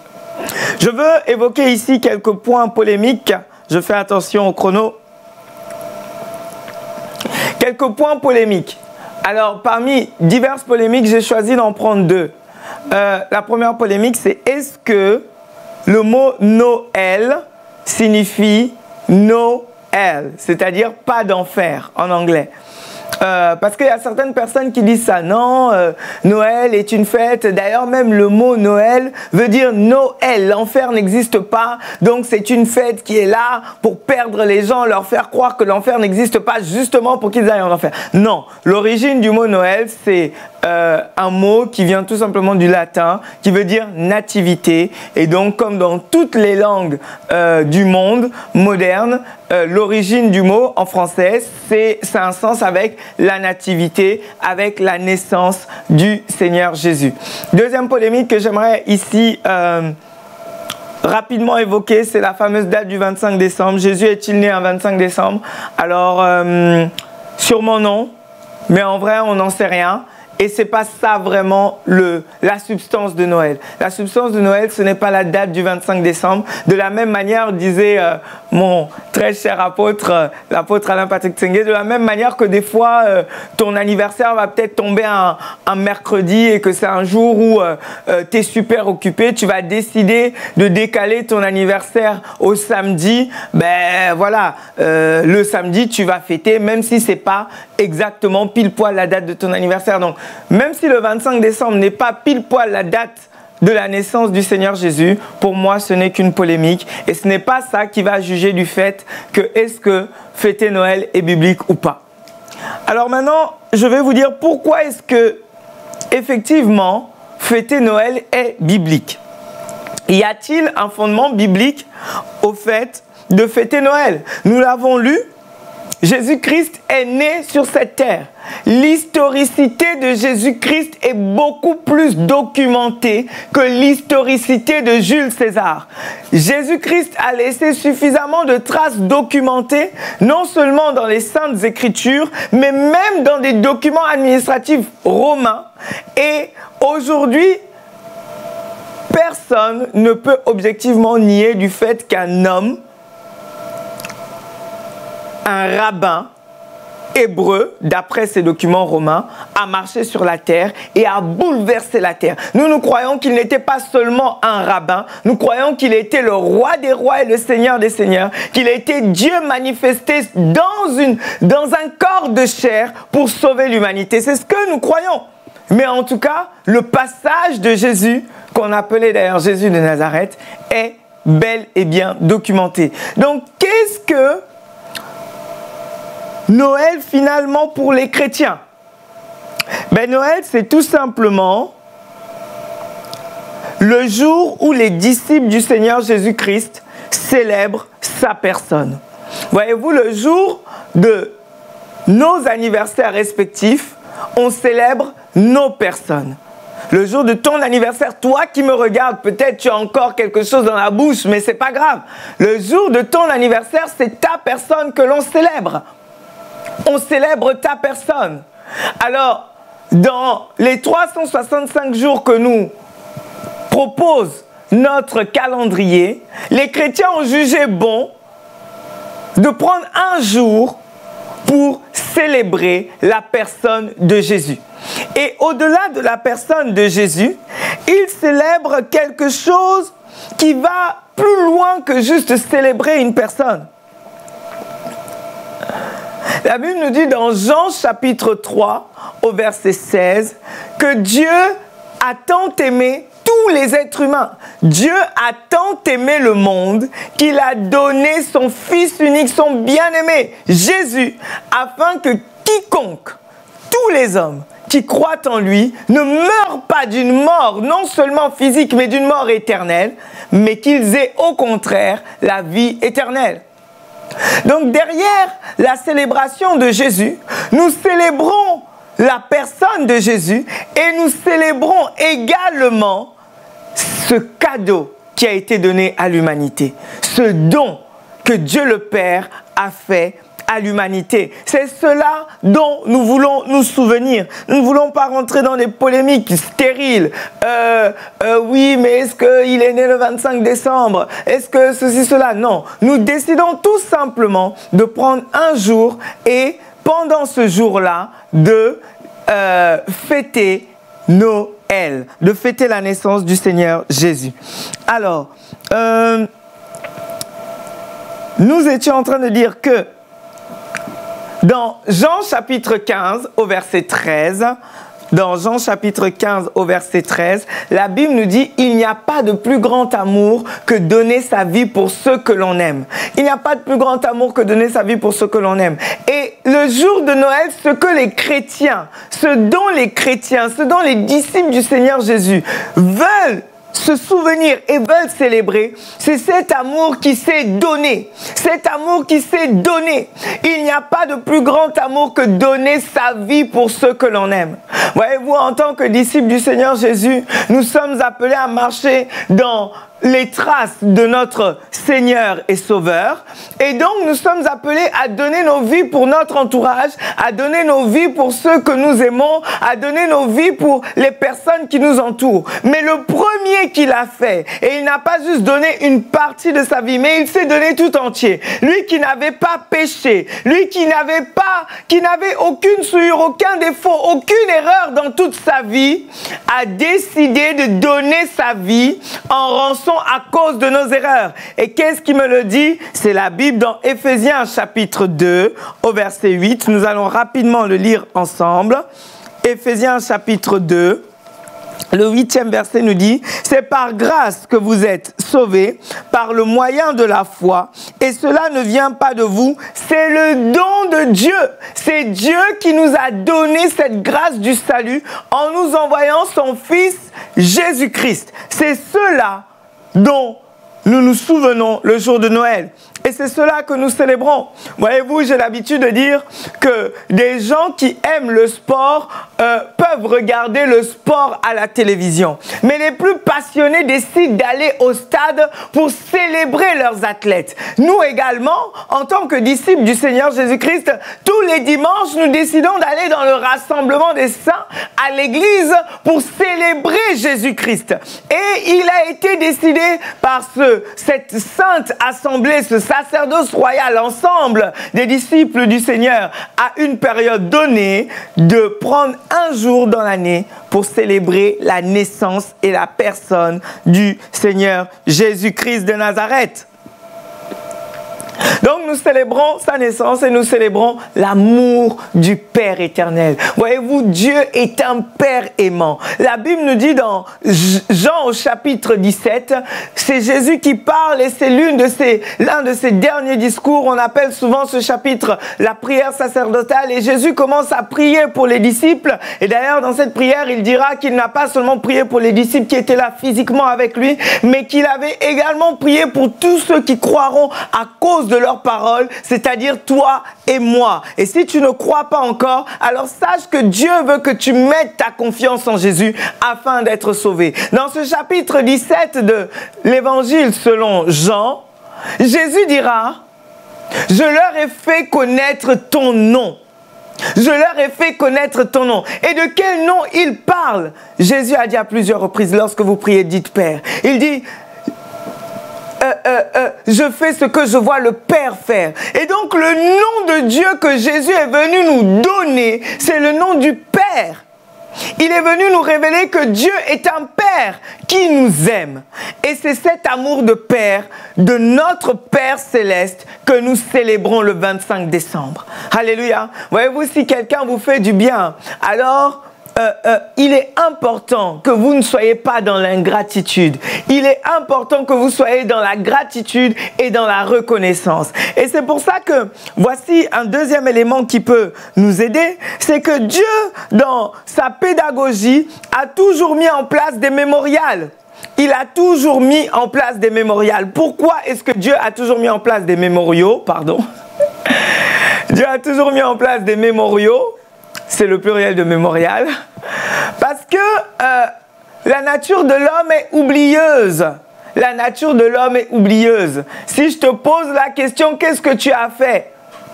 Le 1er janvier de l'année qui vient de s'écouler, peut-être que tu sauras me dire. Mais si je te demande qu'est-ce que tu as fait le 3 janvier de l'année qui vient de s'écouler, là, tu ne sauras peut-être pas me dire. Et d'ailleurs, quelle est la différence entre le 1er janvier et le 3 janvier? C'est que le 1er janvier a été élevé dans nos calendriers tel un mémorial, un jour férié, et le 3 janvier ne l'est pas. Donc peut-être si tu as une bonne mémoire, tu sauras me dire ce que tu as fait le premier, mais tu ne sauras sûrement pas me dire ce que tu as fait le 3, sauf si c'est ton anniversaire ou sauf si c'est un jour spécial pour toi.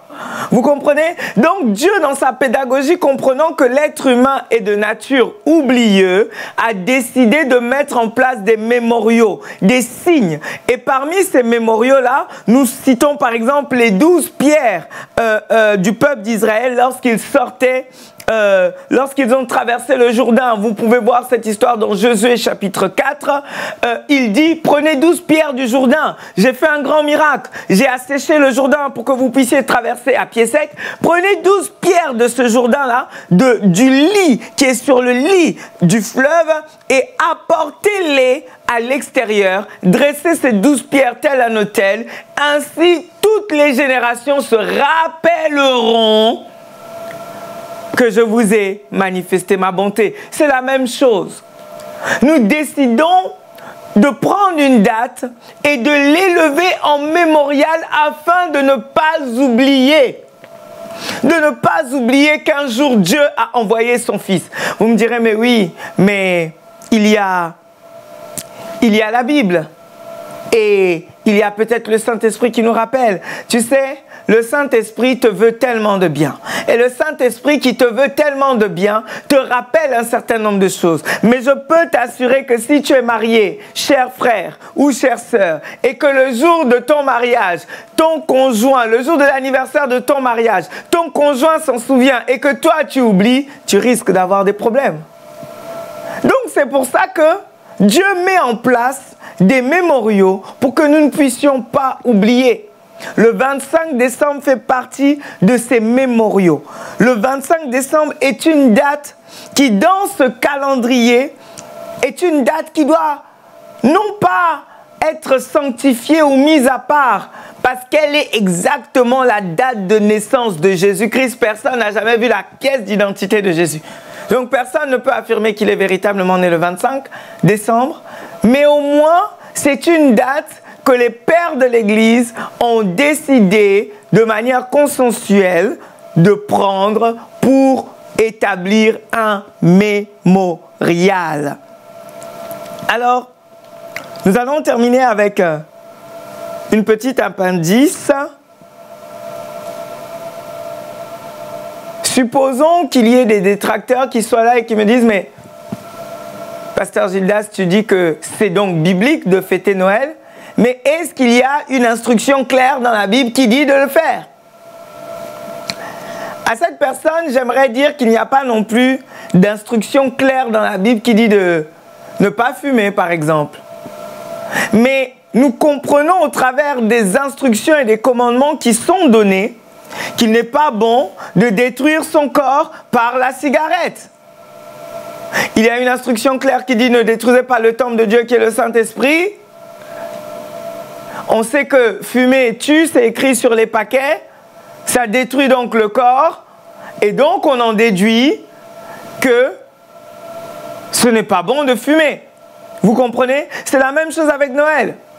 Il n'y a pas d'instruction claire qui dise, où le Seigneur Jésus dise, fêtez la fête de ma naissance. Non. Il n'y a pas d'instruction claire. Mais nous comprenons que de la même manière que nous voulons célébrer le jour de la naissance de nos parents, parce que ce sont des personnes importantes pour nous, de la même manière que nous célébrons euh, des dates qui nous ont marquées, il était très important de prendre une date pour célébrer Jésus-Christ qui est venu pour sauver l'humanité. C'est de cela dont il est question. Il est question de correspondre à l'esprit que la Bible nous dit dans le psaume chapitre 29 au verset 1 lorsqu'elle dit ⁇ Rendez à l'Éternel gloire et honneur ⁇ Noël est donc pour les chrétiens un moment privilégié pour eux afin qu'ils rendent gloire et honneur à Dieu qui leur a envoyé en cette date un sauveur qui leur a envoyé en cette date un sauveur. Voyez-vous dans le texte que nous avons lu tout à l'heure, les anges étaient tellement excités. Un premier ange est venu et il a annoncé cette bonne nouvelle, la bonne nouvelle du salut il l'a annoncé à des bergers. Et alors qu'il l'a annoncé à des bergers, J'aime souvent dire en commentant ce texte que les autres anges étaient au ciel et ils étaient tellement excités de la naissance de Jésus qu'ils n'ont pas pu se retenir. Et ils ont dit, d'une certaine manière, c'est comme si cet ange qui était venu, peut-être qu'il était tellement posé, tellement calme. Hein. On va relire ce passage dans Luc chapitre 2. Il dit au verset 10 par exemple, il dit ne craignez point, car je viens vous annoncer une bonne nouvelle. Peut-être qu'il avait une posture très sérieuse et tout, euh, euh, euh, qui sera pour tout le peuple le sujet d'une grande joie? Cette joie-là, c'est la joie de Noël. Cette joie, c'est la joie du fait que Dieu accomplit sa promesse. Voyez-vous, dans l'Ancien Testament, il y avait une promesse disant que un sauveur allait venir. Et c'est pour ça que l'ange parle d'une grande joie. Et il dit donc, c'est ainsi dans la ville de David, il vous est né un sauveur qui est le Christ le Seigneur. Regardez le verset 12 et voici à quel signe vous le reconnaîtrez. Et on arrive, verset 13. Et soudain, il se joignit à l'ange une multitude de l'armée céleste, louant Dieu et disant, gloire à Dieu dans les lieux très hauts et paix sur la terre aux hommes qui l'agréent. Voyez-vous, ces anges qui étaient là au ciel, étaient comme tellement excités qu'ils ne pouvaient pas se retenir. Ils ont dit, on ne peut pas se retenir. Il y a tellement une grande joie du fait que le sauveur de l'univers vient de naître. Alors ils ont dit non, nous aussi on va aller, on va aller chanter. Et ils ont, on ne sait pas si ce concert était prévu ou si c'était un concert improvisé. Sûrement qu'ils ont pris leurs instruments de musique très vite au ciel. Ils sont venus sur terre pour louer le Seigneur. Qui sommes-nous pour ne pas avoir un jour où nous célébrons ce glorieux événement qu'est la naissance de Jésus? Donc, en résumé, c'est cela Noël pour les chrétiens, c'est cela Noël pour les disciples du Seigneur Jésus. Et oui, nous pouvons fêter Noël lorsque nous le faisons avec cet esprit.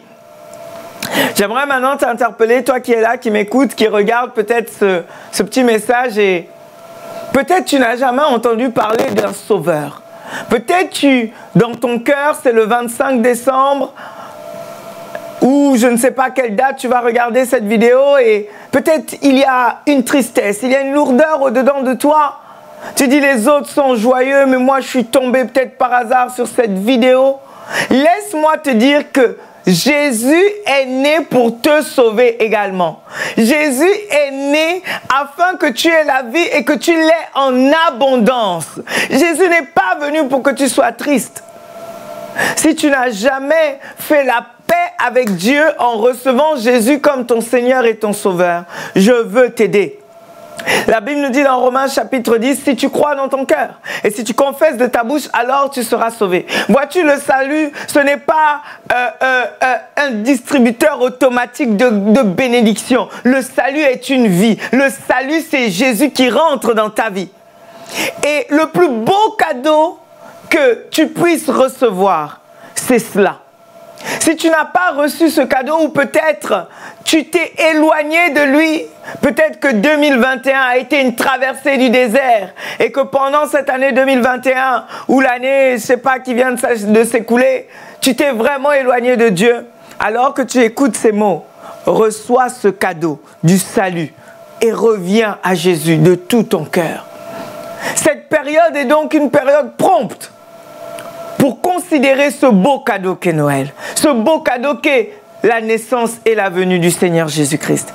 Alors je veux prier avec toi qui, qui te sens concerné par ce cas. Les autres, si vous n'êtes pas concernés, vous pouvez prier également pour les personnes en question.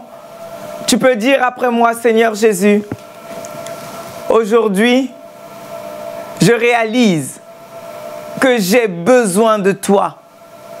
J'ai entendu dire que tu es le sauveur de tous les hommes. Alors je viens à toi et je te le demande solennellement. Sauve-moi. Je te reçois dans mon cœur comme mon Seigneur et mon Sauveur.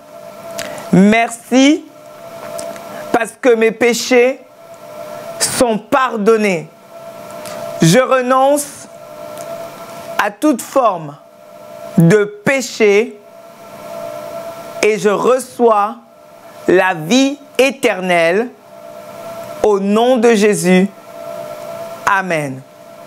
Si tu as fait cette prière, je veux te féliciter je veux te dire bienvenue dans la grande famille des enfants de Dieu.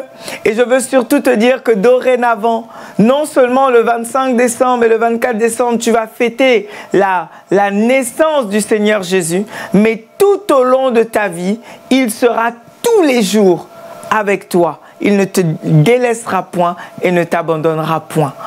Voilà ce que je pouvais dire donc sur cette fameuse question est-ce que fêter Noël est biblique? La réponse est donc oui, fêter Noël est biblique. Je vous remercie pour votre attention. Encore une fois, je vous souhaite un joyeux Noël et je vous dis à bientôt dans une prochaine émission. Que Dieu vous bénisse.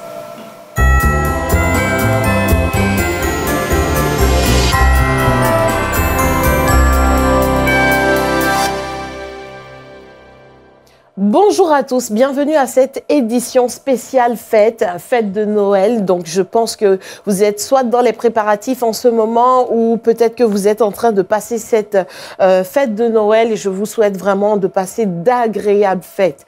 Euh, je suis donc le pasteur Tina Mouketou de ACER Lyon et aujourd'hui en fait je voudrais euh, partager avec vous donc un thème donc pourquoi Marie et pas une autre. Alors donc sans plus tarder, je voudrais vous dire que lorsque nous regardons dans la parole de Dieu, nous allons voir deux évangiles où on parle de la généalogie de la famille de Jésus. Donc nous avons donc dans le livre de Matthieu, Matthieu chapitre 1, et nous avons également Luc chapitre 1. Mais avant de continuer, je voudrais vraiment prendre le temps de remercier le Seigneur pour la vie de l'apôtre et la vie donc euh, de chaque personne qui travaille donc sur cette chaîne de télé Évangile TV. Vraiment soyez bénis et merci pour cette occasion, cette opportunité que vous me donnez de pouvoir partager la parole de Dieu avec le peuple de Dieu. Alors donc comme je le disais dans le livre de, Matthieu et dans le livre de Luc, on apprend donc quelques indices, il y en a pas beaucoup, donc euh, sur la vie de la famille euh, de Jésus, la famille terrestre de Jésus.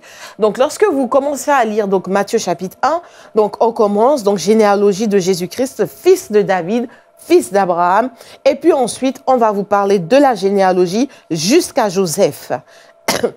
donc, je vais lire, euh, je vais lire donc Matthieu chapitre 1 à partir du verset 15. Donc, Eliud engendra Éléazar. Éléazar engendra Matan ou Matan. Matan engendra Jacob. Jacob engendra Joseph, l'époux de Marie, de laquelle est né Jésus, qui est appelé Christ. Lorsque vous lisez un petit peu cette fois-ci la généalogie de Luc, euh, en fait, on va vous parler de la famille de, de Jésus et on, va, on a l'impression en tout cas qu'il donne quelques éléments par rapport à sa famille maternelle, c'est-à-dire la famille de Marie. La chose que je voudrais vous dire, et on va essayer de, remettre un peu les choses dans le contexte, euh, l'Ancien Testament, si vous lisez bien, il va se terminer donc par Malachie. Et donc, de Malachie jusqu'à Matthieu, en fait, on passait par un temps de désert spirituel, de sécheresse spirituelle, où en réalité, il n'y avait pas un prophète, il n'y avait pas euh, une personne vraiment qui inspirait par le Seigneur, qui donnait vraiment des paroles prophétiques. Donc, c'était vraiment le désert spirituel. C'était un temps vraiment de décadence spirituelle. Donc, il s'est passé à peu près 400 ans entre la fin de Malachie et Matthieu, en fait. Et, donc l'arrivée de, Jésus. Et donc pendant ces temps, c'était vraiment compliqué. Il faut savoir donc, et lorsque vous lisez la parole de Dieu, vous voyez qu'il y avait un faible euh, nombre de personnes, un faible euh, nombre de personnes en fait qui gardaient encore les alliances. Et dans ces personnes, nous avons euh, Zacharie, nous avons Élisabeth, qui sont en réalité donc Élisabeth est la cousine de Marie. Euh, nous avons, on parle de Siméon et on parle également de la prophétesse Anne. On parle de Joseph. Et donc, on va parler d'un faible nombre de personnes comme ça qui étaient encore euh, attachées aux alliances et qui étaient dans l'expectative que quelque chose de particulier allait se passer. Euh, vous me dites peut-être, euh, mais comment il savait Vous savez, nous aujourd'hui dans l'ancienne, dans, dans la nouvelle alliance, nous nous attendons à ce que Jésus arrive. Il y a des signes qui marquent euh, que nous sommes dans la fin des temps. Et nous savons, même si nous ne savons pas déterminer exactement euh, l'heure, nous ne savons pas déterminer le jour, nous ne savons pas déterminer l'année, mais nous savons que nous sommes dans les temps de la fin parce qu'il y a un certain nombre de signes, en fait, que le Seigneur a dit et nous voyons, nous voyons ces signes s'accomplir. Donc nous savons que nous sommes dans les temps de la fin et nous attendons vraiment le retour de Jésus. De la même manière, par rapport aux prophéties, donc notamment les prophéties messianiques qui avaient été données, ils savaient qu'ils étaient dans un temps particulier et que à tout moment, en fait, que le Messie allait venir. Euh, Dieu avait fait une parole Dieu avait fait une parole donc avait donné une parole à David, son serviteur. Donc je suis dans 2 Samuel chapitre 7 verset 12. Quand le moment sera venu pour toi de rejoindre tes ancêtres décédés, j'établirai attendez, je vais bien vous lire, j'établirai après toi l'un de tes propres descendants pour te succéder comme roi. Et j'affermirai son autorité royale. Donc Dieu avait donné cette parole prophétique à David. Donc on savait que le Messie allait être issu donc de David. Ça allait être un descendant de David. Donc, tous ceux qui n'étaient pas descendants de David, déjà, on les écarte. on savait, en fait, que c'était une parole prophétique qui avait été donnée à David et le, Messie serait issu donc de, de David. On le savait. Donc c'était quelque part, c'était dans la famille. Pourquoi est-ce que je vous ai fait lire tout à l'heure donc Matthieu chapitre 1 à partir du verset 15 Eliud engendra Éléazar, Éléazar engendra Matan et Matan engendra Jacob. Et on découvre donc dans le verset 16 que Jacob engendra Joseph. Donc le père de Joseph, l'époux de Marie, de laquelle est né Jésus et qu'on appelle donc le Christ. Donc Jacob était le père de Joseph. D'accord? Dans la tradition juive, on sait que Marie, en fait, était la fille d'un dénommé Élie. Élie avec un H. H-E accent aigu, L-I. Et il semblerait que dans cette famille-là, en fait, que Marie n'avait que des sœurs. Pardon. Que Marie n'avait en fait que des sœurs. Et donc Joseph devenait euh, le fils légal, on va dire, du, de Élie. D'accord? Et Élie n'était rien d'autre, en fait, que le neveu, donc Élie, avec H, le père de Marie, était le neveu de Jacob, le père de Joseph. Donc en réalité, ça restait quand même dans la même famille. Et on se rend compte que dans cette famille-là, en réalité, vraiment les termes de l'alliance, ils étaient dans l'expectative que Dieu allait faire quelque chose. Allons un peu plus loin. Pardon on va découvrir un petit peu le côté familial de, de, de, Marie avec Zacharie. Donc, je suis cette fois-ci dans le livre de Luc. Luc, chapitre 1, verset 5. Euh, du temps d'Hérode, roi de Judée, il y avait un sacrificateur nommé Zacharie de la classe d'Abia. Sa femme était donc les filles d'Aaron et s'appelait Élisabeth. La partie qui m'intéresse, c'est tous deux étaient justes devant Dieu. En fait, lorsque la Bible parlait à l'époque de l'ancienne alliance d'être juste devant Dieu, en fait, la parole de Dieu était simplement en train de nous dire qu'ils étaient approuvés par Dieu. En fait, c'était des justes selon Dieu. Dieu avait un regard sur eux. Euh, ils étaient approuvés. Ils gardaient, ils marchaient vraiment dans la foi dans la foi en l'éternel, vous voyez? Donc tous deux étaient justes devant Dieu, observant d'une manière irréprochable tous les commandements et toutes les ordonnances du Seigneur. Élisabeth, donc, elle était euh, stérile, ils n'arrivaient pas à avoir un enfant, et donc l'ange Gabriel va être envoyé dans cette famille-là pour dire à Élisabeth qu'elle allait tomber enceinte, et donc d'elle va naître donc Jean-Baptiste, et Jean-Baptiste, elle, donc le cousin de Jésus. On va partir peu plus loin cette fois-ci, lorsque l'ange Gabriel va cette fois-ci apparaître à Marie. Donc, une chose que j'ai oublié de vous dire. Donc, dans Ésaïe chapitre 7, la Bible va parler donc de Marie et en fait c'est Ésaïe qui va avoir une parole prophétique et euh, comme quoi la, la, jeune femme elle va enfanter et je crois que c'est Matthieu qui le répète donc Matthieu chapitre 1 verset 23 qui parle cette fois cette fois-ci de la Vierge qui dit que cette parole s'accomplit, donc la parole selon laquelle la jeune femme, la vierge, va être enceinte, ça va s'accomplir. Donc on savait aussi que c'était une femme, que la, que la naissance de Jésus allait arriver de manière surnaturelle. Vous voyez, euh, je crois que Esaïe devait être en train de se dire, mais comment ça se fait qu'une vierge allait enfanter? Je crois que lorsqu'il prophétisait, donc à peu près 800 ans avant, il devait être en train de se dire, mais quelle parole je suis en train de recevoir? Comment est-ce qu'une vierge va pouvoir enfanter? Comment est-ce qu'une vierge qui n'a pas connu d'homme va pouvoir enfanter? Les choses étaient bizarres. Mais en tout cas, il va donner sa parole prophétique. Donc c'est quelque chose que ceux qui étaient justes, ceux qui gardaient les termes de l'alliance, ils savaient en réalité que la naissance du Messie allait arriver et qu'elle allait être, c'est quelque chose qui allait être surnaturel. Que la, la, la jeune femme, que la Vierge, elle allait tomber enceinte. Lorsque vous voyez même quand l'ange Gabriel apparaît à Marie, en fait, euh, Marie n'est pas plus que ça étonnée. Vous voyez, la Bible parle de troubler quelque part, mais troublée par la, la manière dont l'ange la manière dont l'ange va saluer Marie, c'est ça qui va la troubler. Je suis dans Luc chapitre 1 à partir du verset 28. Donc, l'ange entra chez elle et dit, je te salue, toi à qui une grâce a été faite. Le Seigneur est avec toi. Troublé par cette parole. Ce n'est même pas tant que ça euh, l'apparition, on a l'impression, en tout cas, on a l'impression que ce n'est même pas l'apparition de l'ange, en fait, qui trouble Marie, que c'est plutôt cette salutation, toi à qui une grâce a été faite.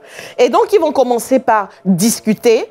Euh, donc, l'ange va amener son message, va lui dire, ne crains point Marie, voici, tu deviendras enceinte, tu enfanteras un fils, tu lui donneras le nom de Jésus. Je suis au, verset 32. Il sera grand et sera appelé fils du Très-Haut et le Seigneur Dieu lui donnera le trône de David son père.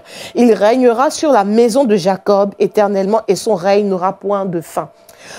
Verset 34, Marie dit à l'ange, comment cela se fera-t-il puisque je ne connais point d'homme? L'ange lui répondit, le Saint-Esprit viendra sur toi et la puissance du Très-Haut te couvrira de son ombre. C'est pourquoi le Saint-Enfant qui naîtra de toi sera appelé Fils de Dieu. Et donc il va lui expliquer des choses par rapport à Élisabeth. Je saute un petit peu et je vais au verset 38. Marie dit, je suis la servante du Seigneur, qu'il me soit fait selon sa parole. Vous savez, Marie était vraiment dans la foi en l'éternel. Et elle va dire, je suis la servante du Seigneur. Ça, c'est quelqu'un qui connaît son Dieu. Ça, c'est quelqu'un qui connaît l'éternel et qui dit qu'il me soit fait selon ta parole. Et l'ange la quitta. Elle dit, je suis la servante du Seigneur. On était dans un temps où les indices prouvaient quand même pour ceux qui attendaient la venue du Messie qu'il y aurait eu quelque chose. Et donc Marie dit qu'il me soit fait vraiment selon ta parole. Donc elle a accepté que, vraiment, elle a accepté d'être en griffe la risée. Parce que je rappelle quand même quelque chose. Euh, Marie et Joseph s'étaient fiancés. Et à l'époque, en fait, les fiançailles, en fait, avaient valeur de mariage. Donc, il se passait à peu près une année entre le moment où les fiançailles, donc qui avaient vraiment valeur de mariage, se passaient et le moment où la jeune femme quittait donc la, sa maison paternelle et venait habiter chez son mari. Donc, il se passait à peu près un an. Pourquoi je... Euh, Déjà parce que c'est la tradition juive. Et puis dans le livre euh, de Matthieu, on a quelques brides parce que on voit euh, Joseph qui est en train de réfléchir à comment est-ce que euh, il va casser, briser ses fiançailles et il est en train de se demander mais est-ce qu'il faut que j'écrive une lettre de divorce Vous voyez? Parce que en réalité, le, les fiançailles avaient vraiment valeur de mariage. Et d'ailleurs, la, la, la, la jeune fille euh, qui était fiancée, euh, soit donc elle divorçait, ou alors le mari, euh, ben, le mari décédait et elle était considérée comme étant veuve. Vous voyez Et lorsque c'était le mari qui avait cassé, par exemple, on pouvait dire que cette femme-là, elle était répudiée. Et là, c'était vraiment très compliqué après pour elle de pouvoir se remarier. Et souvent même, il ne se remariait pas. Vous voyez, on ne remariait pas une fille qui était euh, répudiée. Et donc, euh, lorsque je parle euh, de cette histoire-là, je voulais attirer votre attention sur, sur Joseph cette fois-ci, parce que Joseph va accepter de porter l'opprobre en se disant, les gens vont dire en réalité que Marie et moi, nous avons consommé le mariage. Vous voyez, euh, il va se dire, mais euh, comment je vais faire? Parce qu'on va voir cette femme-là qui va être enceinte.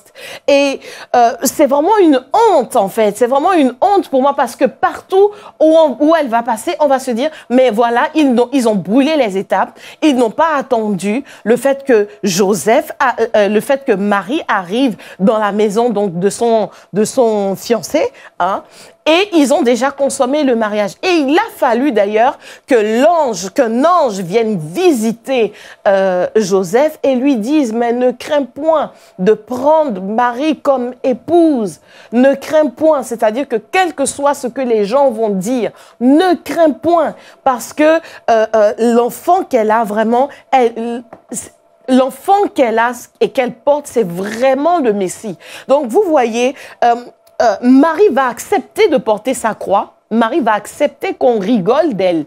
Marie va accepter que les gens la jugent, que les gens l'accusent d'avoir brûlé les étapes avant le mariage. Joseph aussi va accepter cela tout ceci parce qu'ils ils s'attendaient, ils avaient vraiment l'assurance qu'ils étaient vraiment dans, les, dans des temps particuliers et que la parole que l'ange avait dit à leur sujet était une parole qui venait vraiment du ciel, était une parole vraiment qui était euh, en accord avec leur foi, en accord vraiment avec leur attente. Joseph a donc accepté d'être appelé le père de Jésus alors que, en fait, il n'était pas encore officiellement, ou en tout cas, euh, il était légalement marié à Marie, mais Marie n'habitait pas encore chez lui. Donc, euh, euh, Joseph a donc accepté de subir la honte, le déshonneur, parce que je voudrais juste vous dire que dans, en ces temps-là, c'était quand même compliqué. Vous n'avez pas, vous n'étiez pas encore, toutes les étapes du mariage ne s'étaient pas faites. Et puis, euh, et puis bon, Joseph a enceinté euh, Marie, quoi. C'était, c'est comme ça que les gens euh, l'interpréterait, vous voyez? Donc, Joseph a accepté euh, de, de prendre sur lui euh, les regards des gens, de prendre sur lui euh, des fois les silences des gens, en vrai, de prendre sur lui sa croix. Et cette histoire de porter sa croix, en fait, on se rend compte que c'est partout. Si tu veux vivre pieusement avec le Seigneur, il faut accepter de prendre ta croix. Vous voyez, euh, Marie, elle devait avoir euh, entre 12 et 14 ans. Euh, les fiançailles sont faites. Euh, elle n'habite pas encore chez son mari. L'ange du Seigneur vient la voir et elle dit simplement, je suis la servante du Seigneur, qu'il me soit faite selon sa volonté. Elle n'a pas regardé à qu'est-ce que les gens vont dire de moi, qu'est-ce que ma famille va dire de moi, qu'est-ce que même mon futur époux là, qu'est-ce qu'il va dire de moi. Elle a simplement accepté la parole de l'ange, elle a accepté de se soumettre à ce que Dieu est en train de faire et de se Dieu est et se soumettre à ce que Dieu disait. Vous voyez? Donc, en fait, euh, Marie, elle servait, elle aimait vraiment le Seigneur. Et je crois que c'est pour cela aussi qu'une grâce, une telle grâce lui a été faite. C'était quelqu'un, en réalité, quel que soit ce que euh, l'ange euh, allait venir dire. Vous voyez, je ne sais pas si vous imaginez un petit peu le contexte. Je ne sais pas si, euh, je sais pas si vous imaginez un peu. En fait, un ange vient la voir et lui dit, en fait, Marie, euh, tu seras enceinte par la vertu du, Saint-Esprit. Le Saint-Esprit viendra, te couvrira de son nom, tout ça. Et, et, vraiment, tu porteras un saint enfant en toi. Mais je ne sais pas si vous imaginez. Et elle répond simplement, qu'il me soit fait selon sa volonté. En réalité, quel que soit ce que l'ange allait venir dire, Marie, elle disait seulement, qu'il me soit fait selon sa volonté, parce que je suis la servante du Seigneur. Je ne sais pas si vous imaginez le degré de consécration. Je ne sais pas si vous imaginez le degré de d'attente de Dieu. Elle savait qu'ils étaient dans un temps particulier, que la parole qui avait été faite euh, par la bouche d'Ésaïe, donc Ésaïe chapitre 7, que ça allait certainement se réaliser, qu'on était dans un temps où vraiment ils attendaient que Dieu agisse où depuis plus de 400 ans, il n'y avait rien eu. Mais tout, lorsqu'ils étaient en train, lorsqu'ils regardaient la parole, lorsqu'ils écoutaient vraiment les prophètes et tout, ils savaient qu'ils étaient dans un temps particulier. Et là, Marie va dire que sa, que sa volonté, la volonté parfaite de Dieu, qu'elle soit faite. Et pareil également pour Joseph. Joseph n'avait pas d'abord, euh, Joseph n'avait pas d'abord eu la visite de l'ange. J'imagine euh, que Joseph, que Marie est partie voir Joseph et lui expliquer tout ça. Et Joseph s'est dit, mais comment je vais faire pour rompre secrètement avec elle Vous voyez, comment je vais faire pour ne pas mettre dans ma lettre de divorce? Il faut pas que je mette un motif, parce que si je mets un motif d'infidélité, c'est fini en fait. Euh, pour que Marie puisse euh, trouver un homme et se marier, ça allait être compliqué. Et donc, il était en train de penser à tout ça. Mais quand lui aussi, il va faire un raid et il va recevoir également donc la visitation de cet ange qui va lui dire, ne crains point, Joseph. Joseph va accepter, Joseph va accepter d'accomplir et de faire la volonté de Dieu. Dans le livre de Luc, je suis toujours dans Luc chapitre 2, euh, Jésus est déjà né, mais ça va nous donner quand même des indices hein, sur, euh, sur Marie et de manière plus générale, des indices sur ce couple. La Bible va dire, donc je suis dans Luc chapitre 2, on, va, on peut regarder ensemble. Donc Luc chapitre 2, donc... Euh, Marie et Joseph vont aller présenter Jésus au temple, comme c'était la coutume de le faire pour en tout cas des juifs pieux. Donc on sait que Marie et Joseph, c'était des juifs pieux. Vous voyez, ils s'attendaient à Dieu. Donc ils vont aller au temple, je suis dans Luc chapitre 2, je crois, à partir du verset 21. Le huitième jour auquel l'enfant devait être circoncis étant arrivé, on lui donna le nom de Jésus, nom qu'avait indiqué l'ange avant qu'il fût conçu dans le sein de sa mère verset 22, Et quand les jours de la purification furent accomplis, selon la loi de Moïse, Joseph et Marie le portèrent à Jérusalem pour le présenter au Seigneur, suivant ce qui est écrit dans la loi du Seigneur, dont tout mâle premier-né sera consacré au Seigneur, et pour offrir en sacrifice deux tourtereaux ou deux pigeons, comme cela est prescrit dans la loi du Seigneur. Bon, cette loi-là, lorsque vous voyez dans le livre de Lévitique, en fait, ça dépendait de la prospérité des familles. Et à ce moment-là, Joseph et Marie avaient des finances pas encore développées. Par la suite, euh, l'histoire, hein, c'est pas dans la Bible, mais l'histoire va enseigner donc que Joseph va finir par faire fortune. Mais à ce moment-là, il n'était pas très aisé parce que ils vont venir apporter donc dans le temple, ils vont venir apporter un sacrifice donc de, de, de pigeons ou de deux tourterelles lorsqu'ils vont présenter donc l'enfant Jésus. Donc on se rend compte et donc là ils vont rencontrer ils vont rencontrer Siméon, ils vont rencontrer également Anne au temple. Donc on se rend compte que Marie et Joseph, vraiment, ils gardaient la loi. Vous voyez, c'était des juifs pieux. Euh, Jésus va arriver dans une famille terrestre. Il va arriver dans une famille terrestre où, que ce soit Marie ou que ce soit Joseph, Vraiment, ils étaient des juifs pieux. Ils étaient vraiment dans l'attente. Ils savaient que quelque chose de particulier allait se passer. Vous voyez, ils avaient le cœur de faire la volonté de Dieu. Quel que soit ce que cela allait leur coûter, ils avaient le cœur de faire la volonté parfaite de Dieu. Et je crois que euh, Dieu qui connaissait les cœurs a fait vraiment cette grâce-là à Marie à cause de cela. Parce qu'il a vu euh, euh, vraiment une jeune fille qui était dans l'expectative, qui était issue d'une Déjà, vous voyez Élisabeth, vous voyez Zacharie. Ils étaient vraiment, c'était une famille de sacrificateurs, euh, euh, une famille vraiment où ils attendaient quelque chose, vous voyez. Et donc Dieu va les choisir, je crois, à cause de, de cette consécration, à cause de cette foi dans l'alliance, à cause de cette foi à ce que les promesses de Dieu vont se réaliser certainement. Vous voyez, même là encore, c'est une histoire de foi. En fait, que ce soit dans l'Ancien Testament ou le Nouveau Testament, on nous parle d'une vie de foi avec Dieu. Et chacun doit pouvoir, par la foi, vraiment porter sa croix et s'attendre à ce que Dieu le bénisse. Et cette fois-ci, c'est l'histoire qui nous le dit. Dieu a béni Joseph.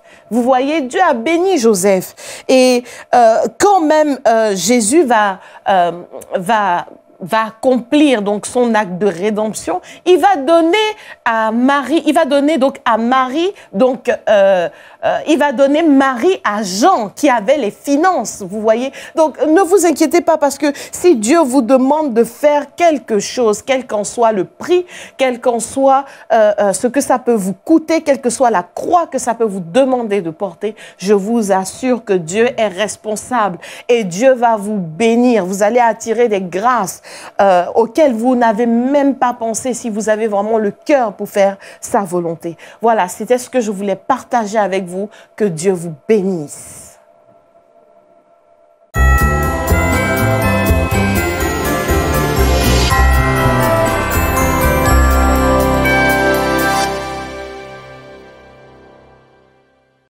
Bonsoir à tous et bienvenue à Évangile TV. Je suis le pasteur Yvon Mouketou, pasteur associé à l'église ACR Lyon et je suis très heureux d'être sur le plateau d'Évangile TV pour répondre à une question au, au sujet du Père Noël. Doit-on permettre aux enfants de croire au Père Noël? Déjà, je vous souhaite à tous de bonnes fêtes de fin d'année et joyeux Noël parce qu'on est dans la période euh, de Noël. Euh, sachez que l'élément central qui nous rassemble dans cette fête, c'est que nous commémorons la naissance de Jésus-Christ, le roi des rois, le Seigneur des seigneurs, le sauveur de l'humanité. N'oublions pas que c'est à cause de lui que nous, nous nous arrêtons en ce jour ou dans cette période pour célébrer et offrir des cadeaux parce que nous estimons que nous avons reçu le meilleur des cadeaux. C'est celui du témoignage de l'amour de Dieu. La Bible dit que Dieu a tellement aimé le monde qu'il a donné son Fils unique, Jésus-Christ, afin que quiconque croit en lui ne périsse point, mais qu'il ait la vie éternelle. Donc, je suis vraiment très content d'être avec vous ce soir. Et donc, on va répondre à cette question. Doit-on permettre aux enfants de croire au Père Noël? Vous savez, je pense qu'il faut faire la différence entre le fond et la forme euh, quand on aborde ce genre de questions, euh, parce que nous vivons dans une société où il y a des pratiques. Euh, mes enfants sont à l'école, ma fille elle a 8 ans, le garçon il a 6 ans, et il y a quelques années de cela, euh, ils ont fait donc une, une, manifestation avec le Père Noël. Et donc, euh, ma fille est venue euh, toute contente à la maison, elle me dit, papa, papa, j'ai vu le Père Noël et tout. Je dis, ah bon? Il était comment? Et elle me décrit le Père Noël. Je dis, mais qu'est-ce que vous avez fait? Oui, on a chanté, et puis nous a donné des cadeaux et tout ça. Bon, Écoutez, elle a vu le Père Noël. Vous voulez que je lui dise non, c'est pas le Père Noël, il n'existe pas. Mais non, elle l'a vu. je, je, pense que euh, les, les, enfants, ils, ils, ne se posent pas trop de questions compliquées, vous voyez, pour comprendre euh, qui est le personnage, qui est caché derrière, euh, qui est, euh, est-ce que c'est réellement ce personnage qui est le, le, personnage central, est-ce que c'est, est-ce qu'il a vraiment un bureau où il reçoit tous les, les, courriers des enfants, avec euh, les listes de cadeaux, avec ces petits lutins qui travaillent avec lui pour préparer les cadeaux. Vous voyez, il y a le mythe autour du Père Noël, du personnage, d'accord? Et il y a, euh, comment dire, euh, le, le fait que les enfants vont recevoir des cadeaux, hein, que, les enfants vont passer des moments agréables avec leurs parents. Je pense que c'est important de faire la part des choses et de pouvoir juger de la maturité de l'enfant afin de pouvoir lui expliquer euh, de quoi il s'agit. Je pense aussi que donc on ne peut pas empêcher un enfant de croire au Père Noël parce que à l'école on lui en parle, il le voit. Donc c'est pour l'enfant, en tout cas l'enfant qui est en bas âge, c'est un personnage qui existe. C'est un personnage qui existe. Après, tout ce qu'on dit autour de ce personnage, c'est différent. Maintenant, c'est différent. OK? Donc, euh, ce vieux monsieur qui a une longue barbe blanche, qui donne des cadeaux aux enfants, et puis ben, les enfants vont chanter, ils chantent Petit Papa Noël, et puis il arrive là, avec ses grands gestes, avec... Euh, Hein, son, sac de cadeaux. Et les enfants, ils apprécient. Vous savez, les enfants, ils sont dans la simplicité. Les enfants, ils, n'aiment, ils, ne, ils ne demandent pas grand-chose pour uh, pouvoir se réjouir, pour pouvoir être heureux, pour, passer des bons moments, vous voyez. Donc, je pense que c'est pas nécessaire de pouvoir uh, amener plein de théories dans la tête d'un enfant qui ne comprendrait pas toutes ces choses. Voilà. Par contre, il faut faire la différence avec les histoires qui tournent autour. Et puis, lorsque l'enfant va vous poser des questions bien précises, là, c'est à vous de dire, euh, dire ce qu'il en est. Hein? Donc, euh, quand ils sont trop jeunes, je pense qu'il faut les laisser euh, bah, dans, ce, dans ce rêve. C'est pas interdit de rêver. Hein? Vous savez, quand la Bible parle même des traditions, elle va, Jésus, quand il va poser la question aux Juifs, etc., il va leur dire pourquoi vous annulez la parole de Dieu au profit de votre tradition? Donc, il y a des traditions, il y a des croyances euh, qui ne devraient pas entrer en compétition avec la parole de Dieu. Tant qu'elles n'entrent pas en compétition avec la vérité, avec la parole de Dieu, il n'y a pas de souci, en tout cas à mon avis. Donc, euh, il faut expliquer aux enfants lorsqu'ils vous posent des questions, ben, il faut leur répondre. Euh, il faut expliquer en fonction de leur âge est-ce qu'ils ont la capacité de comprendre euh, s'ils n'ont pas la capacité de comprendre, c'est pas la peine d'aller euh, dans des explications trop pointues, trop précises. Euh, les enfants vont faire leur liste de cadeaux et euh, soit disant que les parents doivent le transmettre au Père Noël, qui lui va donc venir le soir, il va passer par la cheminée. D'ailleurs, dans la plupart des maisons des gens, des appartements, il n'y a pas de cheminée. Voilà, donc il passe par où? Si vous n'avez pas de cheminée, vous voyez déjà que euh, l'équation est, est compliquée pour le Père Noël. Il va devoir passer par la porte, il va devoir frapper à la porte. Non, mais trêve de, trêve de plaisanterie. Il faut, il faut expliquer aux enfants que c'est vous qui leur donnez ces cadeaux parce que vous les aimez, parce que vous voulez euh, leur faire plaisir, hein, parce que vous voulez passer des bons moments avec, avec eux. Et d'ailleurs, même dans le choix des cadeaux, vous devez participer. Euh, les enfants, vous voyez, vous, le- quand il y a des magazines de, de cadeaux, là, ils, ils- ils cochent tous les cadeaux. Hein. Mais ils ne savent pas qu'il y a quelqu'un qui paye, voilà, qui, qui finance. Donc, il faut leur expliquer, d'accord? Et puis, en fait, l'idée, c'est pas non plus de tomber dans le côté... euh, purement euh, commercial ou de consommation. Euh, on n'a pas besoin de s'entourer de 10 millions de cadeaux à chaque fois pour se sentir heureux et pour se sentir épanoui. Le, le but du Père Noël, c'est pas de nous gaspiller, c'est pas de nous gâter avec les cadeaux, mais c'est de montrer. Je pense que il y a ce côté où on, on- on- on offre des cadeaux parce que simplement on considère que Dieu nous a offert le meilleur des cadeaux en la personne de Jésus-Christ et que nous aussi, nous pouvons, lorsque nous aimons les gens, leur offrir des cadeaux. Alors pas qu'à Noël, bien sûr, à d'autres moments importants de la vie, nous pouvons le faire. Mais c'est important que les enfants comprennent que c'est un geste euh, d'amour, que c'est un geste euh, de sympathie. Donc c'est vraiment en fonction de l'âge de l'enfant qu'il faut commencer à discuter de ces questions-là et de ne pas euh, imposer le fait de, de, tout de, suite, de tout de suite briser le mythe, voyez? Parce qu'il n'y a pas forcément de mal en cela. Alors, donc au pied du sapin, les enfants vont poser la question, euh, est-ce que c'est le Père Noël? Lorsqu'ils vous posent la question, eh bien, il faut leur répondre. Là, vous n'allez pas dire le Père Noël est venu donner les cadeaux, etc. Bon, après, si vous ne voulez pas répondre, vous pouvez contourner la question. Mais il, ne s'agit pas ici de mentir en disant que c'est le Père Noël qui est venu déposer, alors que c'est vous-même qui avez euh, acheté les cadeaux, qui les avez emballés et qui les avez déposés au pied du sapin. Ok? Donc, je pense que nous devons marcher dans la vérité.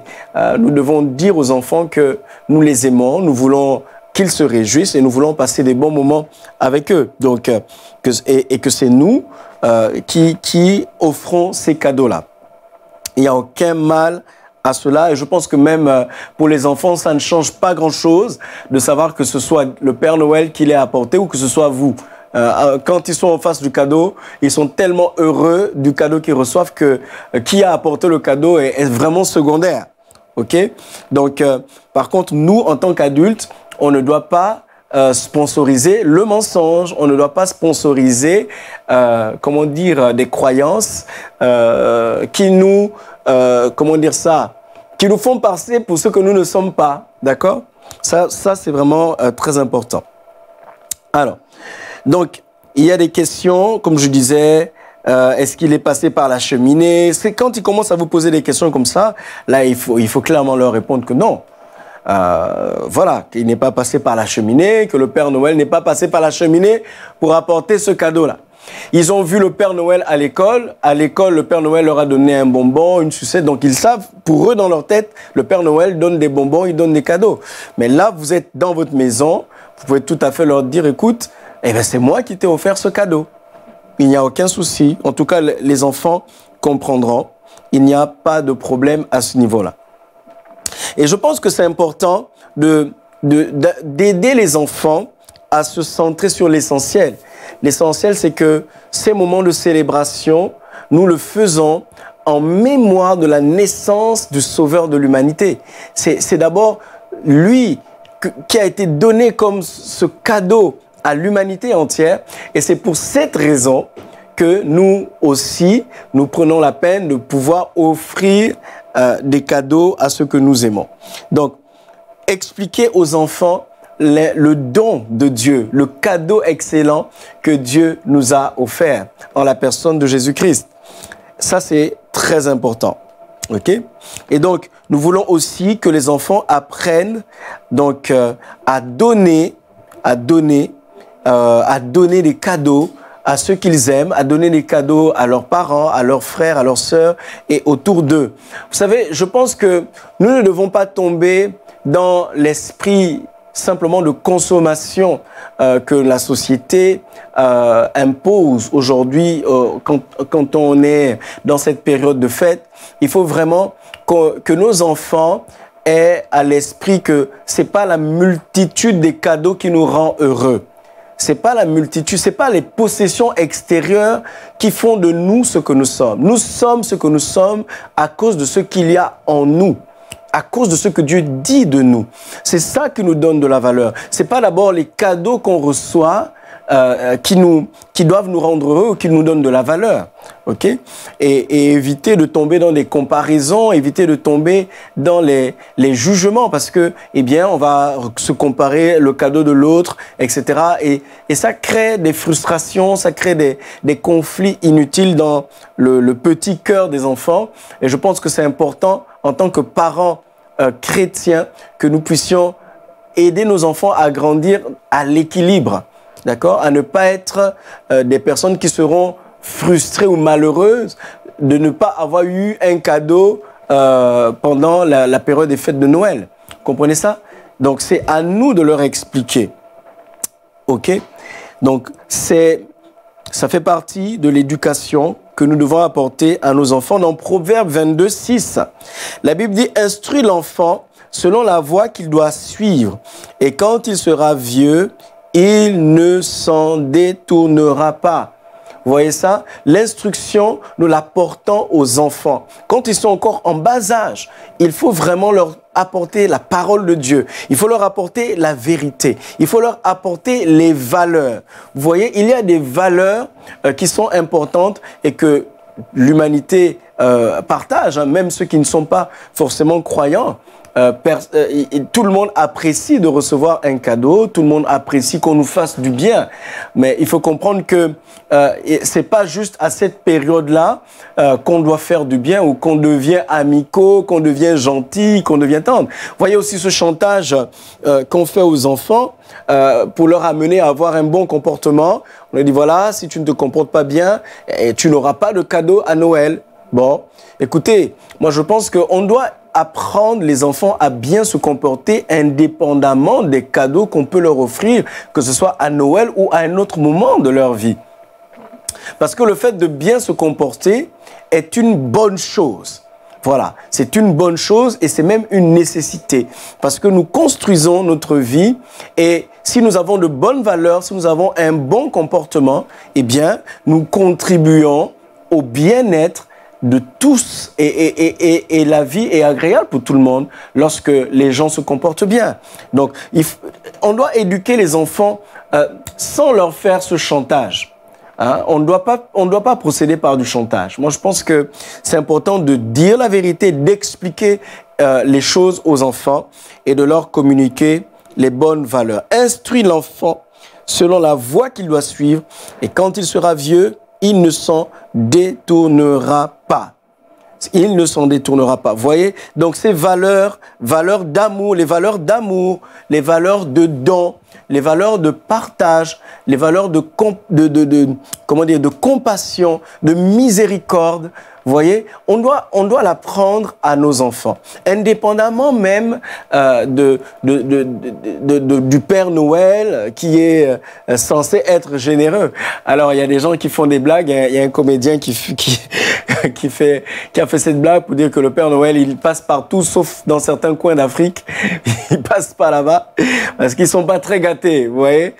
Enfin bref, euh, chacun, en fait, doit doit savoir euh, être heureux, apprendre à nos enfants à se réjouir, à être heureux, non pas simplement à cause des biens, des possessions, des choses extérieures.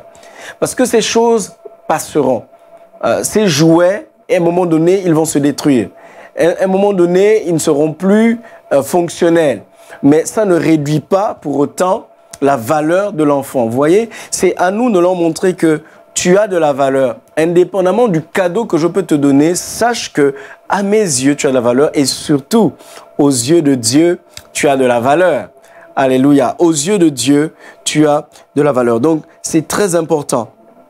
Donc, nous devons apprendre à nos enfants, nous devons leur dire la vérité. Il y a une différence entre euh, euh, comment dire, euh, l'existence d'un personnage qu'ils vont rencontrer dans les centres commerciaux, qu'ils vont rencontrer à l'école, et tout ce qui se dit autour de ce personnage et ce qu'il fait, et surtout lorsqu'on veut attribuer ce que nous, nous faisons à ce personnage. Moi, je pense que c'est là où nous devons faire attention et nous devons amener les enfants à comprendre que c'est nous qui leur offrons les cadeaux parce que nous les aimons et, et parce que nous voulons leur faire du bien. Ok? Donc ça, c'est vraiment très important. Il y a, il y a un passage important euh, que j'aime beaucoup euh, euh, lire pour, pour les, les enfants. Donc c'est le psaume 115. Le psaume 115, le verset 13. Je vais vous le lire rapidement. Vous allez voir que c'est des choses que nous devons apprendre à nos enfants. Psaume 115, verset 13, Il bénira ceux qui craignent l'Éternel, les petits et les grands. Il bénira ceux qui craignent l'Éternel, les petits et les grands. Nous devons enseigner à nos enfants à craindre l'Éternel. Nous devons enseigner à nos enfants à marcher sous le regard de Dieu. Voyez, nous devons enseigner nos enfants les valeurs du royaume de Dieu. Parce qu'il y a une bénédiction que Dieu déverse dans la vie de ceux qui le craignent, dans la vie de ceux qui l'honorent, dans la vie de ceux qui le révèrent. Craindre Dieu, c'est avoir de la révérence pour Dieu, savoir de la révérence pour sa parole, savoir de la révérence pour les principes de son royaume. Craindre Dieu, c'est mettre la parole de Dieu au centre de sa vie. Et Dieu nous a appris dans sa parole à, l'aimer, lui en premier, mais à aimer également les gens qu'il a placés autour de nous. Vous voyez les deux premiers commandements. Le premier, c'est aimer Dieu de tout son cœur, de toute son âme, de toute sa force et de toute sa pensée. Et le deuxième commandement, c'est aimer son prochain comme soi-même. Et quand on est dans cette période de fête, je pense que c'est important d'expliquer ces choses à nos enfants et leur dire qu'aujourd'hui, nous pouvons témoigner de notre amour en vous offrant des cadeaux, mais vous devez vous aussi apprendre à témoigner de l'amour en, offrant des cadeaux, en, offrant ce que vous pouvez offrir. Vous voyez, les enfants, ils n'ont pas besoin de grand chose pour apprendre les valeurs importantes euh, auxquelles nous tenons. Ils n'ont pas besoin de grandes choses. Il faut leur apprendre à partager. Vous voyez, quand il y a euh, les, cadeaux comme ça qui sont donnés, tout de suite, c'est l'égoïsme qui se manifeste. C'est mon cadeau, c'est pour moi et je le garde pour moi. Et vous devez apprendre votre, à votre enfant à partager. Oui, c'est pour toi on te l'a donné, oui, mais tu peux aussi le partager, tu peux aussi le prêter, voire tu peux même le donner pour faire plaisir à quelqu'un. Vous voyez ça? Donc, nous devons profiter vraiment de, de, cette fête ou de cette, cette période de fête de fin d'année pour enseigner ces valeurs à nos enfants. Il bénira ceux qui craignent l'Éternel, les petits et les grands. La bénédiction de l'Éternel ne choisit pas en fonction de l'âge. Dieu ne dit pas, non, lui n'a que deux ans, je ne vais pas le bénir. Vous voyez ça? Et donc, c'est à nous d'expliquer à nos enfants qu'il y a des choses encore plus grandes qu'un simple cadeau qu'on peut leur offrir. La bénédiction de l'Éternel. La bénédiction de l'Éternel. C'est quelque chose de spirituel. Vous voyez? C'est quelque chose de spirituel et les choses spirituelles sont plus importantes que les choses matérielles. Pourquoi? Parce que la Bible nous dit que les choses visibles ont été créées à partir des choses invisibles. Et nous ne devons pas être des parents qui sont simplement des parents euh, matérialistes et charnels et qui ne sont que dans les mécanismes, dans, dans les, pardon, que dans un matérialisme de base. D'accord? Mais nous devons apprendre à nos enfants à craindre Dieu, à aimer Dieu, parce que ce Dieu-là nous bénit. Et c'est bien plus qu'un cadeau de recevoir la bénédiction de l'Éternel. Et cette bénédiction, elle peut affecter la vie d'un enfant. Un enfant béni, un enfant peut être béni à la maternelle et il est béni. Alléluia. Un enfant peut être béni, vous voyez ça? Donc, il y a des cadeaux que Dieu réserve pour ceux qui le craignent. Quand la Bible dit qu'il bénira, c'est que Dieu déversera sa bénédiction, Dieu manifestera sa bénédiction. La bénédiction, elle est spirituelle avant tout, mais elle atteint et elle affecte tous les domaines de notre vie. Autant notre esprit, notre âme que notre corps. Vous voyez ça? Et donc, c'est à nous d'expliquer à nos enfants que les cadeaux, c'est une bonne chose, c'est du matériel, mais il y a aussi la dimension spirituelle. Et ça, c'est ce que Dieu nous donne. Et ça, c'est ce que nous recevons aussi lorsque nous pratiquons la parole de Dieu. La, la Bible va nous dire, enfants, obéissez à vos parents selon le Seigneur, car cela est juste. D'accord? Et il dit, honore ton père et ta mère, c'est le premier commandement. Vous lisez ça dans Éphésiens chapitre 6, de versets 1 à 3 honore ton père et ta mère afin que tu sois heureux et que tu vives longtemps sur la terre. Donc ce ne sont pas les cadeaux que je te donne qui, qui sont l'alpha et l'oméga de ton bonheur. Ce ne sont pas ces cadeaux-là. D'après la parole de Dieu, si tu honores le Seigneur et si tu honores tes parents, tu seras heureux. Dieu va se débrouiller pour, pour drainer dans ta vie la bénédiction et la bénédiction de l'Éternel dans ta vie te rendra heureux. Non seulement elle te rendra heureux, mais elle va également prolonger tes jours. Ça veut dire que tu vivras longtemps. Oui, Dieu veut que nous vivions longtemps. Dieu veut que nous vivions en bonne santé. Dieu veut que nous soyons prospères. Dieu veut que nous soyons heureux et épanouis. Et nous devons le dire à nos enfants. Mais le bonheur que Dieu veut pour nous, ce n'est pas un bonheur qui est dépendant des éléments extérieurs que nous pouvons recevoir. C'est d'abord un bonheur spirituel, c'est d'abord un bonheur que nous vivons au-dedans de nous, dans nos cœurs. Et nous devons l'apprendre à nos enfants. Nous devons l'apprendre à nos enfants. Vous voyez, euh, moi, il m'arrive euh, de, parler avec mes enfants et, et de leur apprendre des chants, des cantiques spirituels. Je suis heureux car Jésus m'a sauvé. Dans son amour, il m'a tout pardonné. Voilà pourquoi je me mets à chanter. Je suis heureux car Jésus m'a sauvé. J'aime Jésus, j'aime Jésus l'homme de Galilée. J'aime Jésus l'homme de Galilée. Mon fardeau enlevé, mes péchés effacés. Oui, j'aime Jésus l'homme de Galilée. Vous voyez, ça c'est un chant que j'ai appris à l'école du dimanche.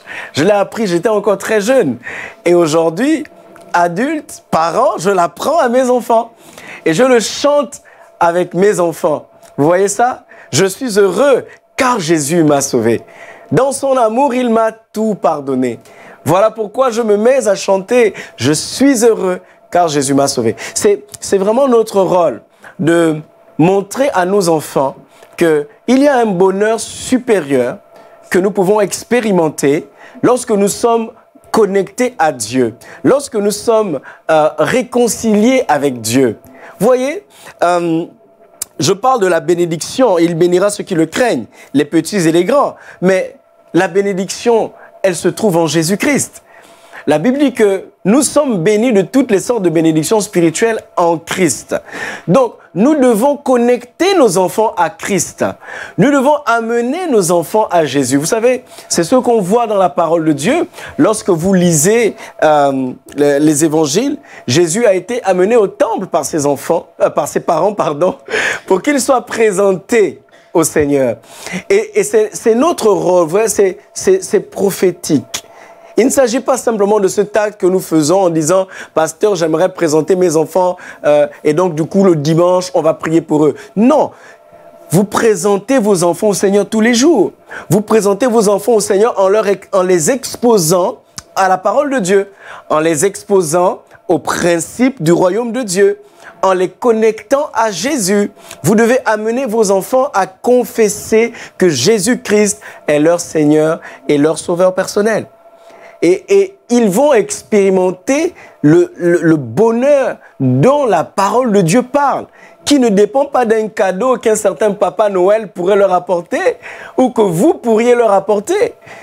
Il y a un bonheur supérieur. Il y a une, euh, il y a des réalités qui ne sont pas des réalités purement matérielles, purement financières, purement basiques. C'est des réalités supérieures. Les réalités du royaume de Dieu, elles sont supérieures. Et il est de notre responsabilité d'introduire nos enfants à ces notions-là. Donc, je, je, vais résumer pour finir mon propos. Donc, euh, la question c'était, doit-on permettre aux enfants de croire au Père Noël? Je réponds oui on peut permettre à nos enfants de croire au Père Noël parce qu'ils le verront à l'école, ils le verront même euh, dans les centres commerciaux, ils verront ce personnage. Voilà.